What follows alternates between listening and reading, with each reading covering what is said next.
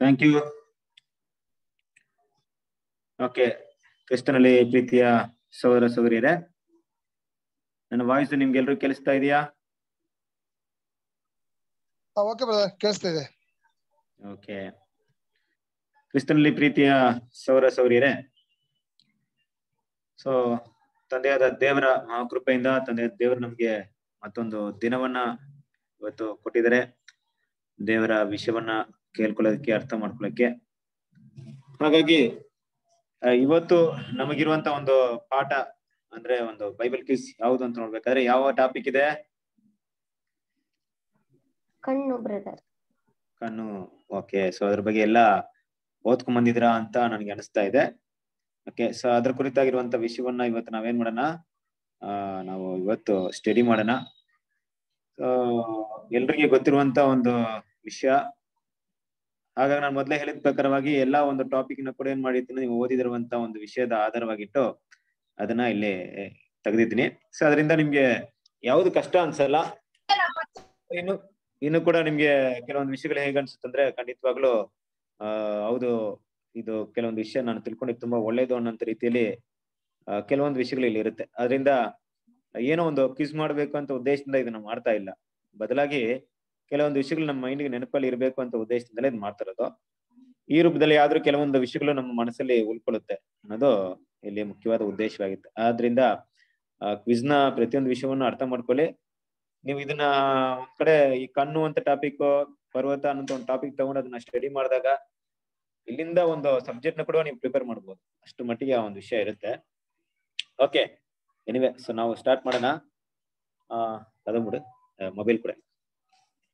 Okay ಆ ನನ್ನ voice clear ಇದೆಯಲ್ಲ ಎಲ್ರಿಗೂ? ನನ್ನ ವಾಯ್ಸ್ ಕ್ಲಿಯರ್ ಇದೆಯಲ್ಲ? ಕ್ಲಿಯರ್ ಓಕೆ ಕ್ರಿಸ್ತನಲ್ಲಿ ಪ್ರೀತಿಯ ಸಹೋದರ ಸಹೋದರಿಯರೇ ಇವತ್ತಿನ ದಿನದಲ್ಲಿ ಕಣ್ಣು ಅಂದ್ರೆ ಐ ದೇವ್ರು ಕೊಟ್ಟಿರುವಂತ ಈ ಕಣ್ಣಿನ ವಿಷಯಗಳಲ್ಲಿ ಕೆಲವೊಂದು ವಿಷಯವನ್ನ ಸತ್ಯವೇದಿಂದ ನಾವು ನೋಡೋಣ. ತುಂಬಾ ಈಸಿಯಾದ ಪ್ರಶ್ನೆನೇ ಇರುತ್ತೆ. ನೀವು ಓದಿದ ಪ್ರಶ್ನೆ. ಅದ್ರ ಮೇಲೆ ನೀವು ಉತ್ತರವನ್ನ ಕೊಡಬೇಕಾಗಿ ನಿಮ್ಮಲ್ಲಿ ಕೇಳ್ಕೊಳ್ತಾ ಇದ್ದೀನಿ. ಓಕೆ ಸರಿ. ಮೊದಲನೇದಾಗಿ ಪ್ರಶ್ನೆ ಏನಪ್ಪಾ ಅಂತ ನೋಡಿದ್ರೆ, ಕಣ್ಣಿಗೆ ಕಣ್ಣು, ಹಳ್ಳಿಗೆ ಹಲ್ಲು, ಕೈಗೆ ಕೈ, ಕಾಲಿಗೆ ಕಾಲು, ಬರೆಗೆ ಬರೆ, ಗಾಯಕ್ಕೆ ಗಾಯ, ಏಟಿಗೆ ಏಟು ಎಂದರೇನು? ಸೊ ಈ ಒಂದು ಈ ಒಂದು ವಿಷಯದ ಅರ್ಥವೇನು?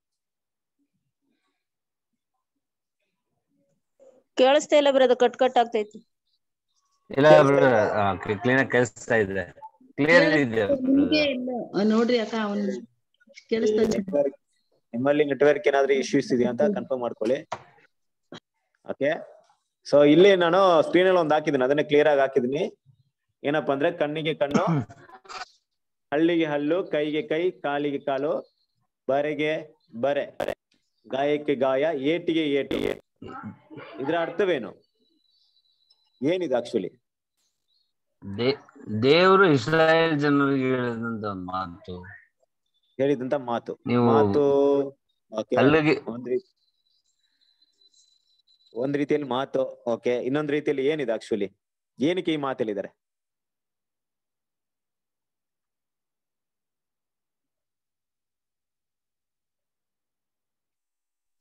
ಏನಕ್ಕೋಸ್ಕರ? ದೇವರು. ಅದೇ ಕಣ್ಣಿಗೆ ಅದು ರ್ಯಾನ್ಸಮ್ ವಿಷಯದಲ್ಲಿ ಬರ್ತದೆ. ಇದು?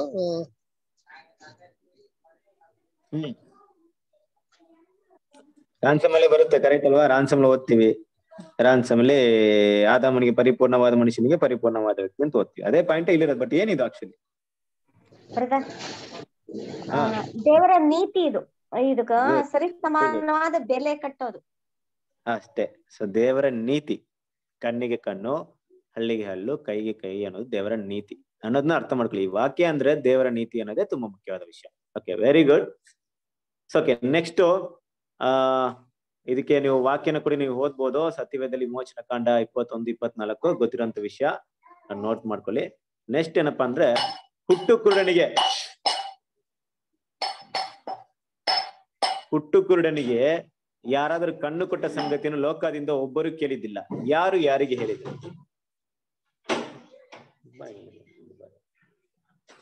ಹುಟ್ಟು ಕುರುಡನಿಗೆ ಯಾರಾದರೂ ಕಣ್ಣು ಕೊಟ್ಟ, ಕೊಟ್ಟು, ಸರಿ, ಕಣ್ಣು ಕೊಟ್ಟ ಸಂಗತಿಯನ್ನು ಲೋಕದಿಂದ ಒಬ್ಬರು ಕೇಳಿದಿಲ್ಲ ಈ ಮಾತನ್ನು ಯಾರು ಯಾರಿಗೆ ಹೇಳಿದ್ರು?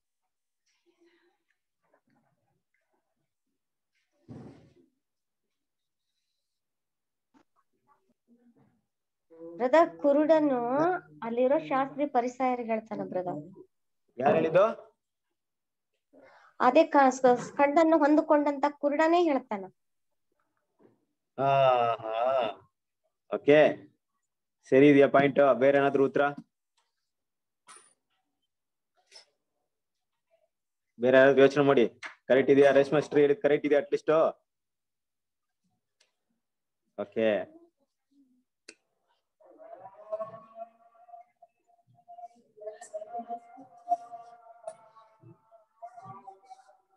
ಕರೆಕ್ಟ್ ಇದೆಯಾ? ಓಕೆ ಸೊ ವಾಕ್ಯವನ್ನ ಓದೋಣ. ಯೋಹಾನನ ಸುವಾರ್ತೆ ಒಂಬತ್ತನೇ ಅಧ್ಯಾಯ ಮೂವತ್ತೆರಡನೇ ವಚನ.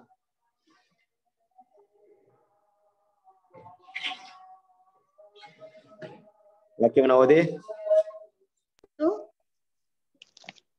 ವಚನ. ಆ ಯೋಹಾನನ ಸುವಾರ್ತೆ ಒಂಬತ್ತನೇ ಅಧ್ಯಾಯ ಮೂವತ್ತ ಎರಡನೇ ವಚನ. ಹುಟ್ಟು ಕುರುಡನಿಗೆ ಯಾರಾದರೂ ಕಣ್ಣು ಕೊಟ್ಟ ಸಂಗತಿಯನ್ನು ಲೋಕಾದಿಯಿಂದ ಒಬ್ಬರು ಕೇಳಿದ್ದಿಲ್ಲ. ಹ್ಮ್. ಕಂಟಿನ್ಯೂ ಮಾಡಿ. ಇಲ್ಲಿ ಮೇಲೆನ ಬರುತ್ತ್ರಿ ಹಾ ಮೇಲೆ ಓದಿ ಮೇಲೆ ಒಂದು ವಾಕ್ಯ ಓದಿ. ಹಾ ಇಪ್ಪತ್ತೊಂಬತ್ತರಲ್ಲಿ ಮೋಶ ಸಂಗಡ ದೇವರು ಮಾತಾಡಿದನೆಂದು ನಾವು ಬಲ್ಲೆವು. ಆದರೆ ಇವನು ಎಲ್ಲಿಯವನು ಅರಿಯವು ಎಂದು ಅಂದರು. ಆ ಅದಕ್ಕೆ ಆ ಮನುಷ್ಯನು ಅಂದ್ರೆ ಕುರುಡನರಿಬ್ರು ಆತನು ನನ ನನಗೆ ಕಣ್ಣು ಕೊಟ್ಟರು ಆತನನ್ನು ಎಲ್ಲಿಯವನು ನಿಮಗೆ ಗೊತ್ತಿಲ್ಲ. ಗೊತ್ತಿಲ್ಲದೆ ಇರುವುದು ಅವಶ್ ಆಶ್ಚರ್ಯವಲ್ಲ. ವೇ ಭಕ್ತಿಹೀನರ ಪ್ರಾರ್ಥನೆಯನ್ನು ದೇವರು ಕೇಳುವುದಿಲ್ಲ. ಯಾವನ ಭಕ್ತನಾಗಿದ್ದು ಆತನ ಚಿತ್ತದಂತೆ ನಡೀತಾನ ಅವನ ಪ್ರಾರ್ಥನೆಯನ್ನು ಕೇಳುತ್ತಾನೆ ಎಂದು ಗುಡ್ ಅಲ್ವಾ? ಸೊ ಹುಟ್ಟು ಕುರುಡನ್ ಹೇಳುವಂತ ಒಂದು ಮಾತು ಇದು, ಅಲ್ವಾ? ಸೊ ಹುಟ್ಟು ಕುರುಡನ್ ಯಾರಿಗೆ ಹೇಳ್ತಾರೆ ಅಂತ ನೋಡ್ಬೇಕಾರೆ ಅಲ್ಲಿರುವಂತ ಪರಿಸೆಯರು, ಆ? ಸೊ ಪರಿಸೆಯರು ಅಂತ ನೋಡ್ಬೇಕಾದ್ರೆ ಯಾರು ಯೇಸು ಕ್ರಿಸ್ತನಿಗೆ ಆಪೋಸಿಟ್ ಆಗಿರ್ತಾರೆ, ಈ ಒಂದು ವಿಷಯವನ್ನ ಅದ್ಭುತ ನೋಡಿದಾಗ ಅವ್ರಿಗೆ ಏನಾಗುತ್ತೆ? ಖಂಡಿತ ಇದು ಸಾಧ್ಯತೆ ಇಲ್ಲ, ಇದ್ ಹೇಗ್ ಮಾಡಿದ್ರು ಅಂತ ಅವನಿಗೆ ಸುಳ್ಳೇಳಕ್ಕೆ ಪ್ರೇರಣೆ ಮಾಡಿದಾಗ ಬಟ್ ಅವನು ಹೇಳುವಂತ ಒಂದು ವಿಟ್ನೆಸ್ನ ಇಲ್ಲಿ ನೋಡ್ತೀವಿ. ಅದನ್ನೇ ಇಲ್ಲಿ ಹುಟ್ಟು ಕುರುಡನ್ ಹೇಳುವಂತ ಒಂದು ಮಾತನ್ನ ಇಲ್ಲಿ ನೋಡ್ತೀವಿ. ಓಕೆ ಗುಡ್ ನೆಕ್ಸ್ಟ್ ಯಾರು ಮೂರು ದಿನ ದಿವಸ ಕಣ್ಣು ಕಾಣದೆ ಏನು ತಿನ್ನಲಿಲ್ಲ ಏನು ಕುಡಿಯಲಿಲ್ಲ. ಯಾರು ಮೂರು ದಿವಸ ಕಣ್ಣು ಕಾಣದೆ ಏನು ತಿನ್ನಲಿಲ್ಲ ಏನು ಕುಡಿಯಲಿಲ್ಲ. ಪೌಲರು ಬ್ರದರ್ ಹೋಗುವಾಗ. ಪೌಲನಾ.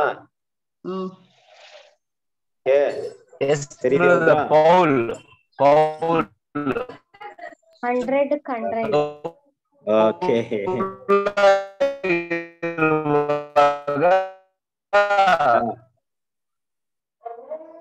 Karthik network ಏನೋ ನಿಮ್ ಕಡೆ ಪಾಪ ಡಿಸ್ಟರ್ಬ್ ಆಗಿರ್ಬೇಕು. ಕ್ಲಿಯರ್ ಆಗಿಲ್ಲ. ಓಕೆ ಎನಿವೆ ಗಟ್ ಸರಿಯಾದ ಉತ್ತರವನ್ನು ಕೊಟ್ಟಿದ್ದೀರಾ? ಅಪ್ಪೋಸ್ತಲ ಪೌಲ ನಿಲ್ಲುವಂತ ಅಪ್ಪೋಸ್ತನ ಪೌಲನ ಜೀವಿತ ನಡೆದಂತ ಒಂದು ವಿಷಯ. ಮೂರು ದಿವಸ ಆತನಿಗೆ ಕಣ್ಣು ಕಾಣಿಸದೇ ಇತ್ತು. ಕಾರ್ತಿಕ್ ಬ್ರದರ್ ನಿಮ್ ವಾಯ್ಸ್ ವಾಯ್ಸ್ ಬ್ರೇಕ್ ಆಗ್ತಿತ್ತು.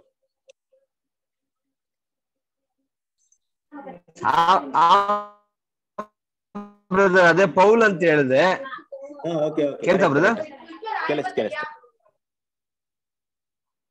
okay thank you good so ಅಪ್ಪೋಸ್ತನ ಪೌಲನ ಒಂದು ಜೀವಿತದಲ್ಲಿ ನಡೆದಂತ ಒಂದು ವಿಷಯ ಅಲ್ವಾ? ಸೊ ಆತನು ಹೋಗ್ಬೇಕಾದ್ರೆ ದಮಸ್ಕಕ್ಕೆ ಹೋಗ್ಬೇಕಾದ್ರೆ ನೀವು ಹೇಳಿದ ಪ್ರಕಾರವಾಗಿ ಒಂಬತ್ತನೇ ಅಧ್ಯಾಯದಲ್ಲಿ ಒಂದು ವಿಷಯ ಬರುತ್ತೆ. ಸೊ ಕರ್ತನಾದ ಯೇಸು ಕ್ರಿಸ್ತನ್ ಏನ್ ಮಾಡ್ತಾರೆ? ಆತನಿಗೆ ಆಕಾಶದಿಂದ ಶಬ್ದ ಬಂದು ಆ ಬೆಳಕನ್ನ ನೋಡಿ ಕಣ್ಣು ಕಾಣಿಸ್ತಾ ಇದ್ದಾಗ ಮೂರು ದಿವಸ ಏನಾಗುತ್ತೆ? ಕಣ್ಣು ಕಾಣದೇ ಇರುತ್ತೆ. ಏನು ತಿನ್ನಲಿಲ್ಲ, ಏನು ಕುಡಿಯಲಿಲ್ಲ ಅಂದ್ರೆ ಹೆಂಗಿರುತ್ತೆ ನೋಡ್ರಿ. ಕಣ್ ಕಾಣದೆ ಹೋದಾಗ ಪೌಲನ ಜೀವಿತದಲ್ಲಿ ಒಂದು ದೊಡ್ಡ ಪರಿವರ್ತನೆ, ಬದಲಾವಣೆಗೆ ಕಾರಣವಾದಂತ ಒಂದು ಸಂಭವ ಇದು. ಅದನ್ನೇ ನೋಡ್ತೀವಿ. ಈ ಒಂದು ವಿಷಯ ಪೌಲನ ಜೀವಿತದಲ್ಲಿ ನಡೆಯುತ್ತೆ ಅನ್ನೋ ವಿಷಯವನ್ನ ಇಲ್ಲಿ ನೋಡ್ತೀವಿ. Okay good next question number four so ಇಲ್ಲಿ ನಂಬರ್ ಹಾಕಿರ್ಲಿಕ್ಕಿಲ್ಲ ಸೊ ಅದ್ರ ಕೂಡ ನಂಬರ್ ಹೇಳ್ತಾ ಇದೀನಿ ಅರ್ಥ ಮಾಡ್ಕೊಳ್ಳಿ. ಅಪೋಸ್ತಲ ಪೌಲನ ಕಣ್ಣು ಕಾಣಿಸದೆ ಇದ್ದಾಗ ಆತನ ಕಣ್ಣಿಗಾಗಿ ಪ್ರಾರ್ಥಿಸಲು ದೇವರು ಯಾರನ್ನು ಕಳುಹಿಸಿದರೋ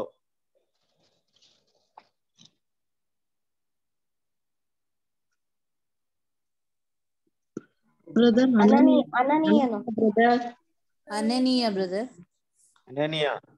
ಹ್ಮ್. ಸರಿದೆ ಉತ್ತರ? ಹ್ಮ್ ಬ್ರದರ್ ಎಲ್ಲಿ ಟಫ್ ಆಗಿ ಮಾಡೋಣ ಅಂದ್ರೆ ಎಷ್ಟು ಎಷ್ಟೇ ಟಫ್ ಆಗಿ ಮಾಡಿದ್ರು ಆನ್ಸರ್ ಹೇಳ್ಬಿಡ್ತಾರಲ್ಲ ನೀವು? ಹ್ಮ್? ವೆರಿ ಗುಡ್ ಸರಿಯಾದ ಉತ್ತರ ಅನನೀಯ ಅನ್ನೋದು. ಸೊ ಅನನೀಯನ್ ಏನ್ ಮಾಡ್ತಾರೆ? ದೇವರಲ್ಲಿ ಕಳಿಸ್ತಾರೆ ಅಲ್ವಾ? ಸೊ ನೀನೇನ್ ನೋಡ್ಬೇಕಾದ್ರೆ ತುಂಬಾ ಒಳ್ಳೆ ಒಂದು ಸನ್ನಿವೇಶ. ಆಕ್ಚುಲಿ ನೋಡ್ಬೇಕಾದ್ರೆ ಅಪೋಸ್ತಲ್ ಪಾಲ್ ನೋಡಿದ್ರೆ ಎಲ್ಲರೂ ಎದುರ್ಕೊಳ್ತಾ ಇದ್ರು. ಈಗ ಅವ್ರಿಗೋಸ್ಕರವಾಗಿ ಪ್ರಾರ್ಥನೆ ಮಾಡಿ ಕಣ್ಣು ತೆಗಿಬೇಕಂದ್ರೆ ದೊಡ್ಡ ವಿಷಯನೇ. ಅದನ್ನ ನೋಡಿ ದೇವ್ರ ಸಹೋದರ, ದೇವ್ರ ಮಕ್ಕಳು ಆ ಟೈಮಲ್ಲಿ ದೇವರ ಒಂದು ವಾಕ್ಯಕ್ಕೆ ಎಷ್ಟೆಲ್ಲ ವಿಧೇಯರಾಗಿದ್ದಾರೆ, ಅದನ್ನ ನಾವು ಅಪೋಸ್ತಲ ಕೃತಿಗಳು ಒಂಬತ್ತನೇ ಅಧ್ಯಾಯ ಹದಿನೇಳನೇ ವಚನದಲ್ಲಿ ಓದ್ತೀವಿ. ಅಪೋಸ್ತಲ ಕೃತಿಗಳು ಒಂಬತ್ತನೇ ಅಧ್ಯಾಯ ಹದಿನೇಳನೇ ವಚನ.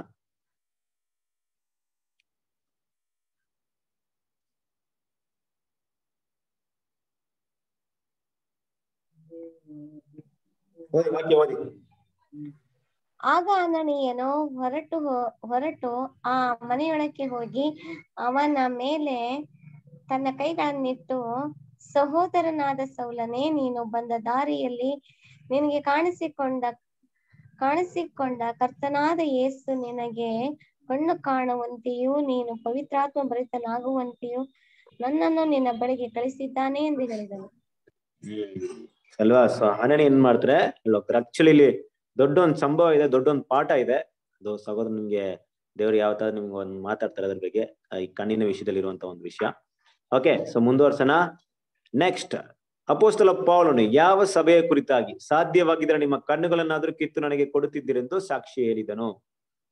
ಅಪೋಸ್ತಲ ಪೌಲನು ಯಾವ ಸಭೆಯ ಕುರಿತಾಗಿ ಸಾಧ್ಯವಾಗಿದ್ರೆ ನಿಮ್ಮ ಕಣ್ಣುಗಳನ್ನಾದ್ರೂ ಕಿತ್ತು ನನಗೆ ಕೊಡುತ್ತಿದ್ದೀರೆಂದು ಸಾಕ್ಷಿ ಹೇಳಿದನು.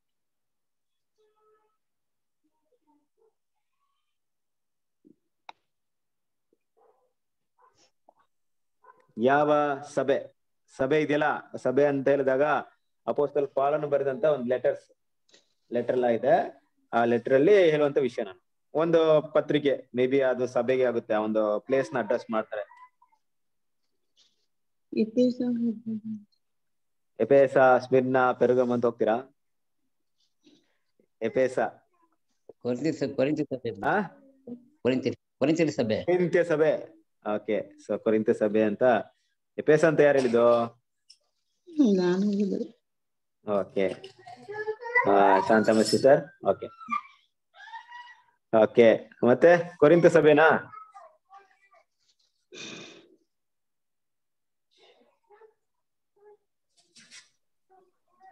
ಬೇರೆ ಯಾವ ಸಭೆ? ಕೊರಿಂತ ಸಭೆ ಗೆಸ್ ಮಾಡಿ ಹೇಳ್ತೀನಿ. ಗೆಸ್ ಮಾಡಿದ್ರಾ ದಯವಿಟ್ಟು ಗೆಸ್ ಮಾಡ್ಬಿಡ್ರಿ ರಾಂಗ್ ಆಗ್ಬಿಡುತ್ತೆ. ಕರೆಕ್ಟ್ ಆಗಿ ಹೇಳ್ಬೇಕು. ಗೆಸ್ ಮಾಡಿದ್ರೆ ರಾಂಗೆ. ಇರ್ಲಿ. ಓಕೆ ಬೇರೆ? ಏಳು ಸಭೆಗಳು? ಒಂದ್ ಸಭೆನಾ? ಯಾಕೆ ಎಪೇಸ ನಿಂತ್ಕೊಂಡ್ಬಿಟ್ರಿ? ಮುಂದೆ ಒರ್ಸ್ಕೊಂಡು ಏನೋ ಒಂದ್ ಸಭೆ ಹೋಗ್ಬೇಕಾಯ್ತು. ಎಪೇಸ ಬಿಟ್ರೆ ಬೇರೆ ಸಭೆ ಇಲ್ವಾ? ಗಲಾತೆ ಐತೆ ಗಲಾತಿಯರಿಗೆ ಬರ್ದಿರೋದು ಬ್ರದರ್ ಗಲಾಟೆ ಇದೆ. ರೋಮಾಪುರ ರೋಮಾಪುರದವರಿಗೆ ಓಕೆ ಗಲಾತಿಯರಿಗೆ ಹೇಳುವಂತ ವಿಷಯ. ಕರೆಕ್ಟ್ ಗುಡ್ ಆ ಗಲಾತಿದವರಿಗೆ ನಾಲ್ಕನೇ ಅಧ್ಯಾಯ ಹದಿನೈದನೇ ವಚನ.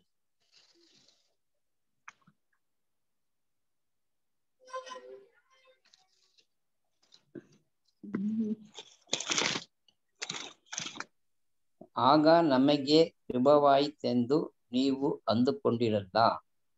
ಆ ಶುಭವು ಎಲ್ಲಿ ಹೋಯಿತು? ಸಾಧ್ಯವಾಗಿದ್ದರೆ ನಿಮ್ಮ ಕಣ್ಣುಗಳನ್ನಾದರೂ ಕಿತ್ತು ನನಗೆ ಕೊಡುತ್ತಿದ್ದರೆಂದು ನಿಮ್ಮನ್ನು ಕುರಿತು ಸಾಕ್ಷಿ ಹೇಳುತ್ತಾರೆ ನೋಡಿದ್ರ ಗಲತ್ತಿದವರು ಆಕ್ಚುಲಿ ಅಪೋಸ್ತಲ್ ಪಾಲ್ ಎಲ್ಲ ಸುವಾರ್ಥ ಸರಕ್ಕೆ ಹೋಗ್ಬೇಕಾದ್ರೆ ಎಲ್ರು ಯಹೂದಿಯರು ಮತ್ತೆ ಅನ್ಯ ಜನಾಂಗದವರು. ಅಂದ್ರೆ ಅಪೋಸ್ಟಲ್ ಪಾಲ್ಗೆ ಏನ್ ಸ್ಪೆಷಲ್ ಗಿಫ್ಟ್ ಇತ್ತಪ್ಪ ಅಂದ್ರೆ ಯಾವ ವ್ಯಕ್ತಿಗಳ ಹತ್ರ ಯಾವ ಜನಾಂಗ, ಜನರ ಹತ್ರ ಹೇಗೆ ನಡ್ಕೊಬೇಕಂದ್ರೆ ತುಂಬಾ ಜ್ಞಾನ, ತುಂಬಾ ಇಂಟೆಲಿಜೆಂಟ್ ಆಕ್ಚುಲಿ ಸೊ ಅವ್ರನ್ನ ಸೆಲೆಕ್ಟ್ ಮಾಡಿದ್ರೆ ಅಂದ್ರೆ ಕಾರಣ ಇಷ್ಟೇ.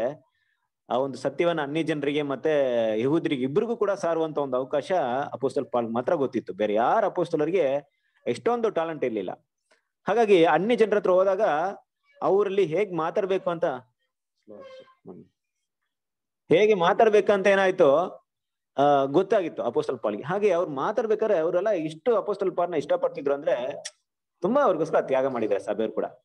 ಆ ತ್ಯಾಗವನ್ನ ಒಂದು ಒಳ್ಳೆ ವಿಷಯಗಳನ್ನ ಅಪೋಸ್ಟಲ್ ಪಾಲ್ ಯಾವಾಗಲೂ ನೆನೆಸ್ಕೊಳ್ಳೋರು. ಸೊ ಅವ್ರು ಮಾಡಿದಂತ ಧರ್ಮ ಕಾರ್ಯಗಳಿರ್ಬೋದು, ಅವ್ರು ಮಾಡಿದಂತ ಅವ್ರನ್ನ ನೋಡುವಂತ, ನೋಡಿದಂತ ವಿಷಯಗಳು. ಅದರಲ್ಲಿ ಗಲತ್ಯದವರು ಎಷ್ಟು ಮಟ್ಟಿಗೆ ಅಂದ್ರೆ ಅಷ್ಟು ಮಟ್ಟಿಗೆ ಅಪೋಸಲ್ ಪಾಲ್ಗೆ ತುಂಬಾ ಮೆಚ್ಚುಗೆ. ಗಲತ್ಯ ಅಂತಲ್ಲ ತುಂಬಾ ಸಭೆ ಇದಾರೆ ಅದರಲ್ಲಿ. ಕೊರಿಂತವ್ರು ಕೂಡ ಇದಾರೆ. ತುಂಬಾ ಸಭೆಯವರು ಇದಾರೆ. ಗಲತ್ಯದವರು ಒಂಥರ ಸ್ಪೆಷಲ್ ಅಲ್ವಾ? ಸೊ ಹಾಗಾಗಿ ಈ ವಿಷಯನ ಗಮನಿಸಿದಾಗ ಈ ಒಂದ್ ಮಾತನ್ನ ಗಲತ್ಯದವರಿಗೆ ಹೇಳ್ತಾರೆ. ಯಾಕೆ ಈ ಮಾತನ್ನ ಹೇಳ್ತಾರೆ ಅಂದ್ರೆ ಸಾಧ್ಯವಾದ ನಿಮ್ಮ ಕಣ್ಣುಗಳನ್ನು ಕೂಡ ಕಿತ್ತು ನನಗೆ ಕೊಡ್ತಾ ಇದ್ರಿ ಬೇರೆ ವಿಷಯ ಏನಾದ್ರು ಹೇಳ್ಬೋದಾಯ್ತಲ್ವಾ? ಯಾಕೆ ಈ ಮಾತನ್ನ ಹೇಳ್ತಾರೆ? ಏನಾದ್ರೂ ಐಡಿಯಾ ಇದೆ ನಿಮ್ಗೆ?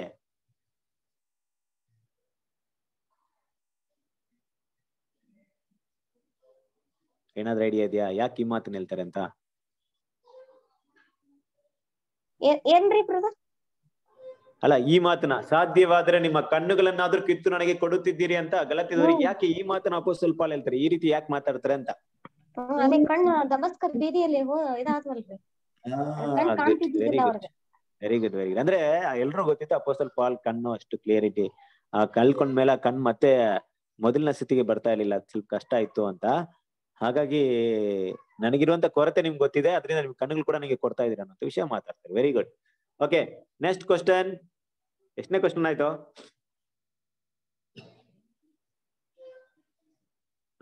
ಓಕೆ ಮೇ ಬಿ ಆರನೇ ಕ್ವಶನ್ ಇರ್ಬೋದು ಇದು. ಓಕೆ ಯೋಹಾನನ ಎರಡು ಹನ್ನೊಂದು, ಒಂದು ಯೋಹಾನ ಎರಡು ಹನ್ನೊಂದರಲ್ಲಿ ಬರುತ್ತಾ ಬರ್ತ ಬರುವಂತ ಒಂದು ವಿಷಯ. ತನ್ನ ಸಹೋದರನನ್ನು ದ್ವೇಷಿಸುವನು ಕತ್ತಲೆಯಲ್ಲಿದ್ದಾನೆ. ಕತ್ತಲೆಯಲ್ಲಿ ನಡೆದುಕೊಳ್ಳುತ್ತಾನೆ. ಡ್ಯಾಶ್ ಅವನ ಕಣ್ಣುಗಳನ್ನು ಕಾಣದ ಹಾಗೆ ಮಾಡಿದ್ದರಿಂದ ತಾನು ಎಲ್ಲಿಗೆ ಹೋಗುತ್ತಾನೋ ಅವನಿಗೆ ತಿಳಿಯದು. ಡ್ಯಾಶ್ ಅನ್ನುವಂತ ಸ್ಥಳದಲ್ಲಿ ಏನ್ ಬರುತ್ತೆ? ಸೊ ಪ್ರಶ್ನೆ ಅರ್ಥವಾಗಿದೆಯಾ? ತನ್ನ ಸಹೋದರ ದ್ವೇಷಿಸುವನು ಕತ್ತಲೆಯಲ್ಲಿದ್ದಾನಂತೆ. ಕತ್ತಲೆಯಲ್ಲಿ ನಡ್ಕೊಳ್ತಾನಂತೆ. ಡ್ಯಾಶ್ ಅವನ ಕಣ್ಣನ್ನ ಏನೋ ಮುಚ್ಚಿಬಿಟ್ಟಿದೆ. ಅವನ ಕಣ್ಣು ಮಾಡಿದ್ದರಿಂದ ಅವನು ತಾನು ಎಲ್ಲಿಗೆ ಹೋಗುತ್ತಾನಂತ ಅವನಿಗೆ ಗೊತ್ತಾಗಲ್ಲ. ಏನದು? ಪ್ರೀತಿನ ಪ್ರೀತಿ. ಪ್ರೀತಿ ಅವನ ಕಣ್ಣುಗಳನ್ನು ಕಾಣದ ಹಾಗೆ ಮಾಡಿದ್ದರಿಂದ ತಾನು ಎಲ್ಲಿಗೆ ಹೋಗುತ್ತಾನೋ ಅವನಿಗೆ ತಿಳಿಯದಂತ ಬರ್ತಾ.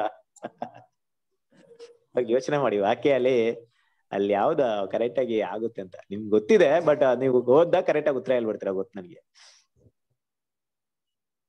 ಯಾರು ಬೈಬಲ್ ಓಪನ್ ಮಾಡ್ಬಿಡಿ ದಯವಿಟ್ಟು. ನಾನು ಹೇಳ್ದಾಗ ಆಮೇಲೆ ಬೇಕಾದ್ರೆ ಓಪನ್ ಮಾಡಿ. ಕಣ್ಣಿನ ಪೊರೆನಾ ಬ್ರದರ್ ಕಣ್ಣಿನ ಪೊರೆ. ಕಣ್ಣಿನ ಪೊರೆ. ಕಣ್ಣಿನ ಪೊರೆ ಅವನ ಕಣ್ಣುಗಳನ್ನು ಕಾಣದ ಹಾಗೆ ಮಾಡಿದ್ದರಿಂದ. ಓಕೆ ನಿಮ್ಗೆ ಒಂದು ಕ್ಲೂ ಕೊಡ್ತೀನಿ ನೋಡ್ರಿ. ಉತ್ತರ ಈ ಈ ಒಂದು ವಾಕ್ಯದಲ್ಲೇ ಉತ್ತರ ಇದೆ. ಅದು ಕೂಡ ಉತ್ತರ ಎರಡು ಸರಿ ಬಂದಿದೆ. ಕತ್ತಲೆ. ವೆರಿ ಗುಡ್ ಕತ್ತಲೆ. ಕತ್ತಲೆ. ಅವನ ಕಣ್ಣುಗಳನ್ನು ಕಾಣದ ಹಾಗೆ ಮಾಡಿದ್ದರಿಂದ ಸೊ ಏನಾಯ್ತು ಅಂತ ನೋಡಿದ್ರೆ ಓಕೆ ಹಾ ಸೊ ನಾನು ಇಲ್ಲಿ ಬರಿಬೇಕಾಯ್ತು. ಈ ವಾಕ್ಯ ಯೋವನ ಒಂದು ಯೋವನ ಎರಡನೇ ಹಾ ಒಂದು ಯೋವನ ಎರಡನೇ ಅಧ್ಯಾಯ ವಾಕ್ಯ ಓದಿ ನಿಮ್ಮ ಸತ್ಯವೇದ ಬೈಬಲ್ ಅಲ್ಲಿ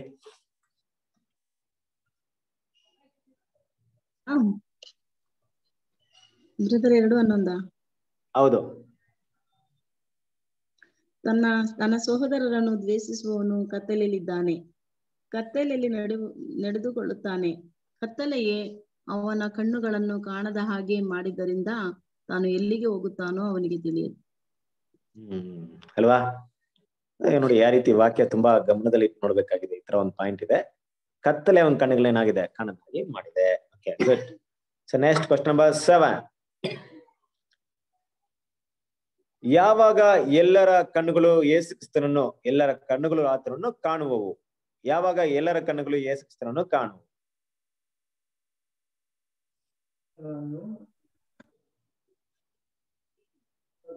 ಆತನ ಯಾವಾಗ? ಎಲ್ಲರ.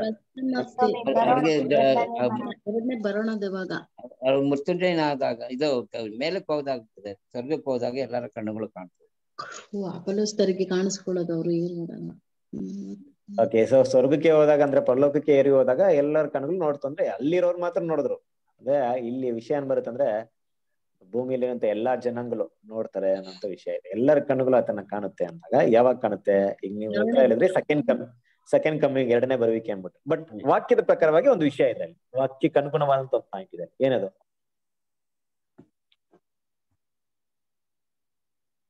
ಯಾ ಸನ್ನಿವೇಶದಲ್ಲಿ. ಈ ಈ ತರ ಇರ್ಬೇಕಾದ್ರೆ ಯೇಸು ಕ್ರಿಸ್ತನ್ ಬರ್ತಾರೆ ಕರೆಕ್ಟ್ ಅದೇ ಒಂದು ಪಾಯಿಂಟ್ ನೀವು ಹೇಳಿದ್ ಕರೆಕ್ಟ್ ಬಟ್ ವಾಕ್ಯದ ರೀತಿಯಲ್ಲಿ ನೋಡ್ತಾರೆ ರೆವಲ್ಯೂಷನ್ ಸೆವೆನ್ ಎರಡು ಏಳು ಒಂದು ಏಳು. ಮೇಘಗಳೊಟ್ಟಿಗೆ ಬರುವಾಗ ಎಲ್ಲ? ಇರಿದವರು ಆತನನ್ನು ಕಾಣುವರು.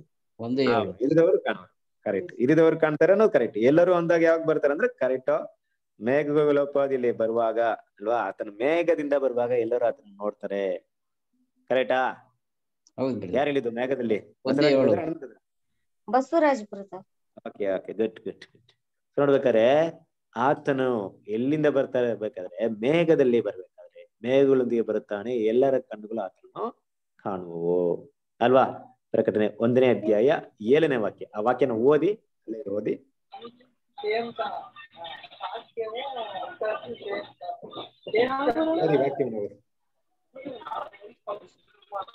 ಈಗೋ ಮೇಘಗಳೊಂದಿಗೆ ಬರುತ್ತಾನೆ, ಎಲ್ಲರ ಕಣ್ಣುಗಳು ಆತನನ್ನು ಕಾಣುವವು. ಆತನನ್ನು ಇರಿದವರು ಸಹ ಕಾಣುವ ಕಾಣುವರು. ಭೂಮಿಯಲ್ಲಿರುವ ಎಲ್ಲಾ ಕುಲದವರು ಆತನನ್ನು ನೋಡಿ ಇದು ಬೆಳೆದುಕೊಳ್ಳುವರು ಹೌದು ಹಾಗೆ ಆಗುವುದು. ಆಮೇಲೆ ಅಲ್ವರ ಎಲ್ಲರ ಕಣ್ಣುಗಳು ಆತನನ್ನು ಕಾಣುವವು. ಎಲ್ಲರ ಕಣ್ಣುಗಳು ಯಾವಾಗ ಕಾಣುತ್ತಂದ್ರೆ ಮೇಘಗಳೊಂದಿಗೆ ಬರುವಾಗ. ಅಂದ್ರೆ ಏಸು ಮೇಘಗಳೊಂದಿಗೆ ಇನ್ನ ಬರ್ಲಿಲ್ವಾ? ಬಂದಿದ್ದಾರೆ ಬ್ರದರ್ ಯಾರು ಕಂಡಿಲ್ಲ ಹಂಗಾದ್ರೆ ಸರಿ ಈ ಪಾಯಿಂಟ್ ಆಮೇಲೆ ಡಿಸ್ಕಷನ್ ಮಾಡೋಣ. ಈ ಪಾಯಿಂಟ್ನ mind okay next question number nine ಕೆಂಪೇರಿದ ಕಣ್ಣುಳ್ಳವರು ಯಾರು? ಕುಡುಕರು. ಕುಡುಕರು? ಡ್ರಿಂಕರ್ಸ್. ಏನ್ ಹಿಂಗ ಅನ್ಬಿಟ್ರಿ. ಕೆಂಪೇರಿದ ಕಣ್ಣುಳ್ಳವರು ಯಾರಂತ ಕುಡುಕರ? ಹೌದು ಬ್ರದರ್. ಏನು? ಅದ ಮದ್ಯಪಾನ ಮಾಡುವವರು. ಅವ್ರು ಕುಡಿತಾರಾಗ ಕೆಂಪು ಬರುತ್ತಲ್ಲ ಅವ್ರ ಕಣ್ಣು. ವೆರಿ ಗುಡ್ ರೈಟ್ ಆನ್ಸರ್ ನೀವು ಇದನ್ನ ಎಲ್ಲ ಓದ್ತೀರ ಅಂದ್ರೆ ಸತ್ಯವೇದಲ್ಲಿ ಓದಿ ಜ್ಞಾನೋಕ್ತಿಗಳು ಇಪ್ಪತ್ತ ಮೂರನೇ ಅಧ್ಯಾಯ ಇಪ್- ಇಪ್ಪತ್ತೊಂಬತ್ತು ಮತ್ತು ಮೂವತ್ತನೇ ವಾಕ್ಯ ಓದಿ. ಹಾ ಜ್ಞಾನೋಕ್ತಿಗಳು ಇಪ್ಪತ್ತ ಮೂರನೇ ಅಧ್ಯಾಯ ಇಪ್ಪತ್ತೊಂಬತ್ತು ಮತ್ತು ಮೂವತ್ತನೇ ವಾಕ್ಯ.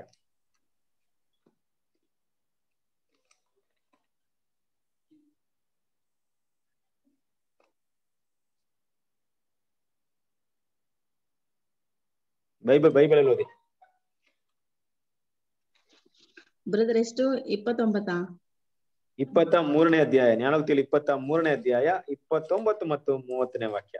ಇಪ್ಪತ್ತೊಂಬತ್ತು ಅದನ್ನೇ ಅಯ್ಯೋ. ಅಯ್ಯೋ ಯಾರು? ಅಕಟ ಎಂದು ಕೂಗಿಕೊಳ್ಳುವರು. ಯಾರು? ಯಾರು ಜಗಳ ಪಡುತ್ತಾರೆ ಯಾರು ಗೋಳಾಡುತ್ತಾರೆ? ಯಾರು ಸುಮ್ಮ ಸುಮ್ಮನೆ ಗಾಯ ಪಡುತ್ತಾರೆ ಕೆಂಪೇರಿದ ಕಣ್ಣುಳ್ಳವರು ಯಾರು? ಹ್ಮ್ ಮೂವತ್ತು.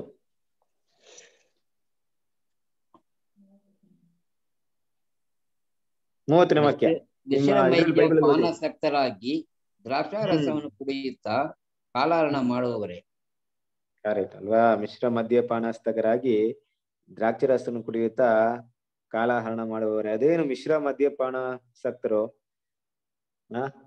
ನೋಡ್ರಿ ಬೈಬಲ್ ಅಲ್ಲಿ ಏನ್ ನಮ್ ನಾವೆಲ್ಲ ಇವತ್ ಏನ್ ಕುಡಿತಾ ಇದೀವಿ ಅದ್ರ ಬಗ್ಗೆ ಎಲ್ಲ ಕ್ಲೀನ್ ಆಗಿ ಬರ್ದಿದ್ದಾರೆ. ಬಟ್ ಅದ್ ನಮ್ಗೆ ಗೊತ್ತಿಲ್ಲ ಕರೆಕ್ಟ್ ಬೋಧನೆ ಕೇಳೋದು ಕರೆಕ್ಟ್ ಒಂದ್ ರೀತಿಯಲ್ಲಿ ಇದೆಲ್ಲ ಏನ್ ಗೊತ್ತಾ? ಆ ಕಾಲದಲ್ಲಿ ಬಟ್ಟಿ ಸಾರ ಎಲ್ಲ ಮಾಡ್ತಿದ್ರು, ಎಲ್ಲ ಮಿಕ್ಸ್ ಮಾಡ್ಕೊಂಡು. ಆತರ ಸ್ಪಿರಿಚುವಲ್ ತಗೊಂಡ್ರೆ ಬೇರೆ ರೀತಿ. ಅಲ್ವಾ? ಸ್ಪಿರಿಚುವಲ್ ತಗೊಂಡ್ರೆ ಯಾವ್ದು ದೇವ್ರ ಸತ್ಯ ಇರಲ್ವೋ ಅಂತದ್ನೆಲ್ಲ ಏನಾಗುತ್ತಂದ್ರೆ ಈ ಮದ್ಯಪಾನಕ್ಕೆ ಕಂಪೇರ್ ಆಗುತ್ತೆ. ಓಕೆ ಇಲ್ಲಿ ವಾಕ್ಯವನ್ನ ಗಮನದಲ್ಲಿ ಇಟ್ ನೋಡೋಣ ಇಲ್ಲಿ. Thank you okay next question question number nine ಯಾರು ಇಸ್ರೇಲರಿಗೆ ಕಣ್ಣು ಚುಚ್ಚುವ ಮುಳ್ಳುಗಳಂತೆಯೂ, ಪಕ್ಕೆ ತಿವಿಯ ಶೂಲಗಳಂತೆಯೂ ಆ ಆಗಿ ನೀವು ವಾಸಿಸುವ ದೇಶದಲ್ಲಿ ನಿಮಗೆ ಸಂಕಟವಾಗಿರುವರು ಎಂದು ದೇವರು ಹೇಳಿದರು. ಯಾರು ಇಸ್ರೇಲಿಯರಿಗೆ ಕಣ್ಣು ಚುಚ್ಚುವ ಮುಳ್ಳುಗಳಂತೆಯೂ ಪಕ್ಕೇತಿವಿಯ ಶೂಳಗಳಂತೆಯೂ ಶೂಲಗಳಂತೆಯೂ ಆಗಿ ನೀವು ವಾಸಿಸುವ ದೇಶದಲ್ಲಿ ನಿಮಗೆ ಕಂಟಕರಾಗಿರುವರು ಎಂದು ದೇವರು ಹೇಳಿದರು. ಯಾರು?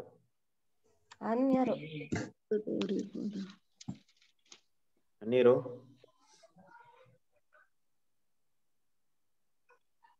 ಓಕೆ ವೆರಿ ಗುಡ್ ಸರಿಯಾದ ಉತ್ತರನ ಹೇಳಿದಿರಾ ಅನ್ಯರು ಅನ್ನೋದು ಸರಿಯಾದ ಒಂದು ವಿಷಯ ಅನ್ಯರು ಅಂತ ಹೇಳಿದಾಗ ಅದನ್ನ ವಾಕ್ಯದಲ್ಲಿ ನೋಡಬಹುದು ಅರಣ್ಯಕಾಂಡ ಮೂವತ್ತ ಮೂರನೇ ಅಧ್ಯಾಯ ಐವತ್ತ ಐದನೇ ವಚನ.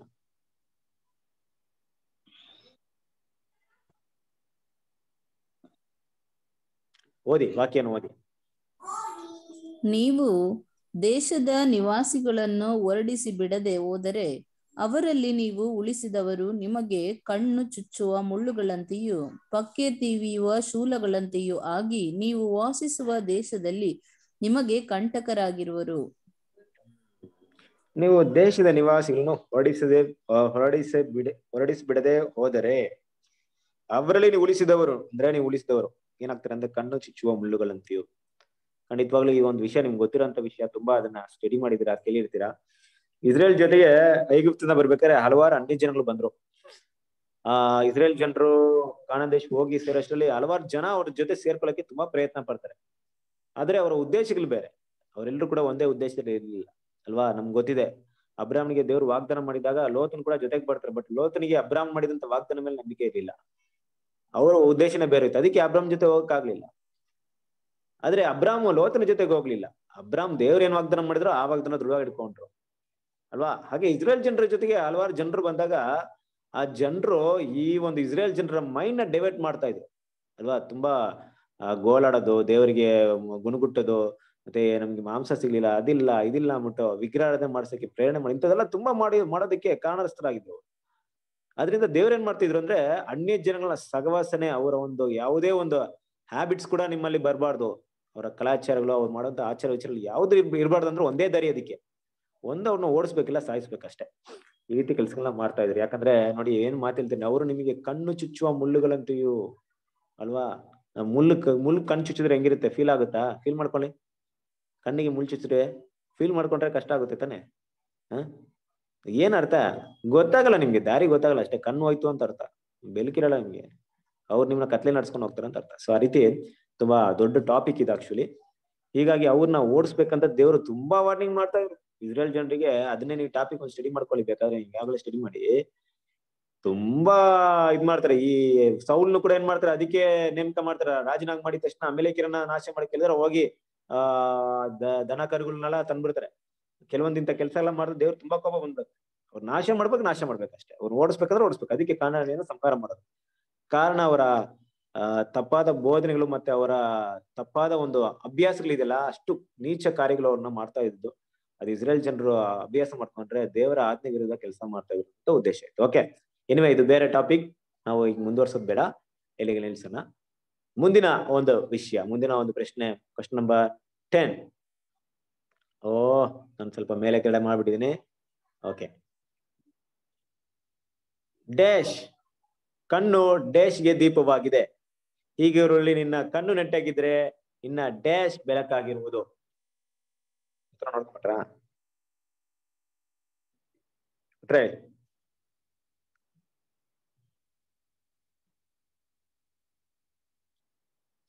ಕಣ್ಣು ಡ್ಯಾಶ್ಗೆ ದೀಪವಾಗಿದೆ. ಹೀಗೆ ನಿನ್ನ ಕಣ್ಣು ನೆಟ್ಟಗಿದ್ರೆ ನಿನ್ನ ಡ್ಯಾಶ್ ದೇಹಕ್ಕೆ ದೀಪವಾಗಿದೆ. ಕಣ್ಣು ದೇಹಕ್ಕೆ ದೀಪವಾಗಿದೆ ಹೀಗಿರುವಲ್ಲಿ ನಿನ್ನ ಕಣ್ಣು ನೆಟ್ಟಗಿದ್ದರೆ ನಿನ್ನ ದೇಹವೆಲ್ಲ ಬೆಳಕಾಗಿರುವುದು. ಆ ಅದೇ ವಾಕ್ಯ ಬರೋದು ಬ್ರದರ್. ಅದು ಮತ್ತೆ ಆರನೇ ಅಧ್ಯಾಯದಲ್ಲಿ ಬರುತ್ತೆ ಬ್ರದರ್. ಇಪ್ಪತ್ತೆರಡನೇ ವಚನ. Good good good very good okay ಕಣ್ಣು ದೇಹಕ್ಕೆ ದೀಪವಾಗಿದೆ. ಹೀಗೆ ನಿನ್ನ ಕಣ್ಣು ನೆಟ್ಟಗಿದ್ರೆ ನಿನ್ನ ದೇಹವೆಲ್ಲ ಬೆಳಕಾಗಿರುವುದು. ಕರೆಕ್ಟ್ ಅಲ್ವಾ? ಈ ಪಾಯಿಂಟ್ ಸ್ವಲ್ಪ ಗಮನದಲ್ಲಿ ನೋಡಿ. ಕಣ್ಣು ದೇಹಕ್ಕೆ ದೀಪವಾಗಿದೆ. ಅಲ್ವಾ? ನಮ್ ಕಣ್ಣು ಕರೆಕ್ಟ್ ಆಗಿದ್ರೆ ನಮ್ ನಮ್ಮ ದೇಹವೆಲ್ಲ ಬೆಳಕಾಗಿರುತ್ತೆ. ನಮ್ ದೇಹದ ಬೆಳಗೋದಕ್ಕೂ ನಮ್ ದೇಹ ಕತ್ಲೆಗೋದಕ್ಕೆ ಕಾರಣ ಯಾವುದಂತೆ? ನಮ್ಮ ಕಣ್ಣು. ಅಲ್ವಾ? ನಮ್ಮ ಕಣ್ಣಲ್ಲೇ ಎಲ್ಲ ಇರೋದು. ದೇವ್ರ ಮಕ್ಕಳು ತುಂಬಾ ಒಳ್ಳೆ ಒಂದು ವಿಷಯ ಇದು. ಹಾಗಾಗಿ ಕಣ್ಣು ನೆಟ್ಟಗಿದ್ರೆ ಅಂದ್ರೆ ಏನರ್ಥ? ನೆಟ್ಟಗಿದ್ರೆ ಅಂದ್ರೆ? ನೋಡುವಂತ ಭಾವನೆಗಳು ಸರಿಯಾಗಿರ್ಬೇಕು ಅಂತ ಅಲ್ವಾ?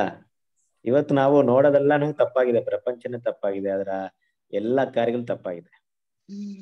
ಅಲ್ವಾ? ಅದಕ್ಕೆ ನಮ್ಮ ಕರ್ತನಾದ ಯೇಸುಕ್ರಿಸ್ತನಿಗೆ ಒಂದು ಮಾತೆಲಿತ್ತಿರು ಅಲ್ವಾ? ಆತನ ಕುರಿತ ಒಂದು ವಾಕ್ಯ ಇದೆ ಕೇಳಿದಿರ ಅದು? ಯೇಸುಕ್ರಿಸ್ತನ ಬಗ್ಗೆ ಏಷ್ಯಾದಲ್ಲಿ ಬರುತ್ತೆ, ನನ್ನ ದಾಸನಂತೆ ಅಂದನು ಯಾರು ನನ್ನ ದಾಸನಂತೆ ಕಿವುಡನು ಯಾರು ಅಂತ ಒಂದು ಮಾತಿದೆ. ಕೇಳಿದಿರಾ ಬ್ರದರ್ ಬರುತ್ತೆ ವಾಕ್ಯ? ಯಶಾಯ ಯಶಾಯದಲ್ಲಿ ನಲ್ವತ್ತು ಎರಡ? ನೋಡಿ ತೆಗಿರಿ ನೋಡೋಣ. ಗಂಟೆ ತೆಗೆದು ಓದಿ.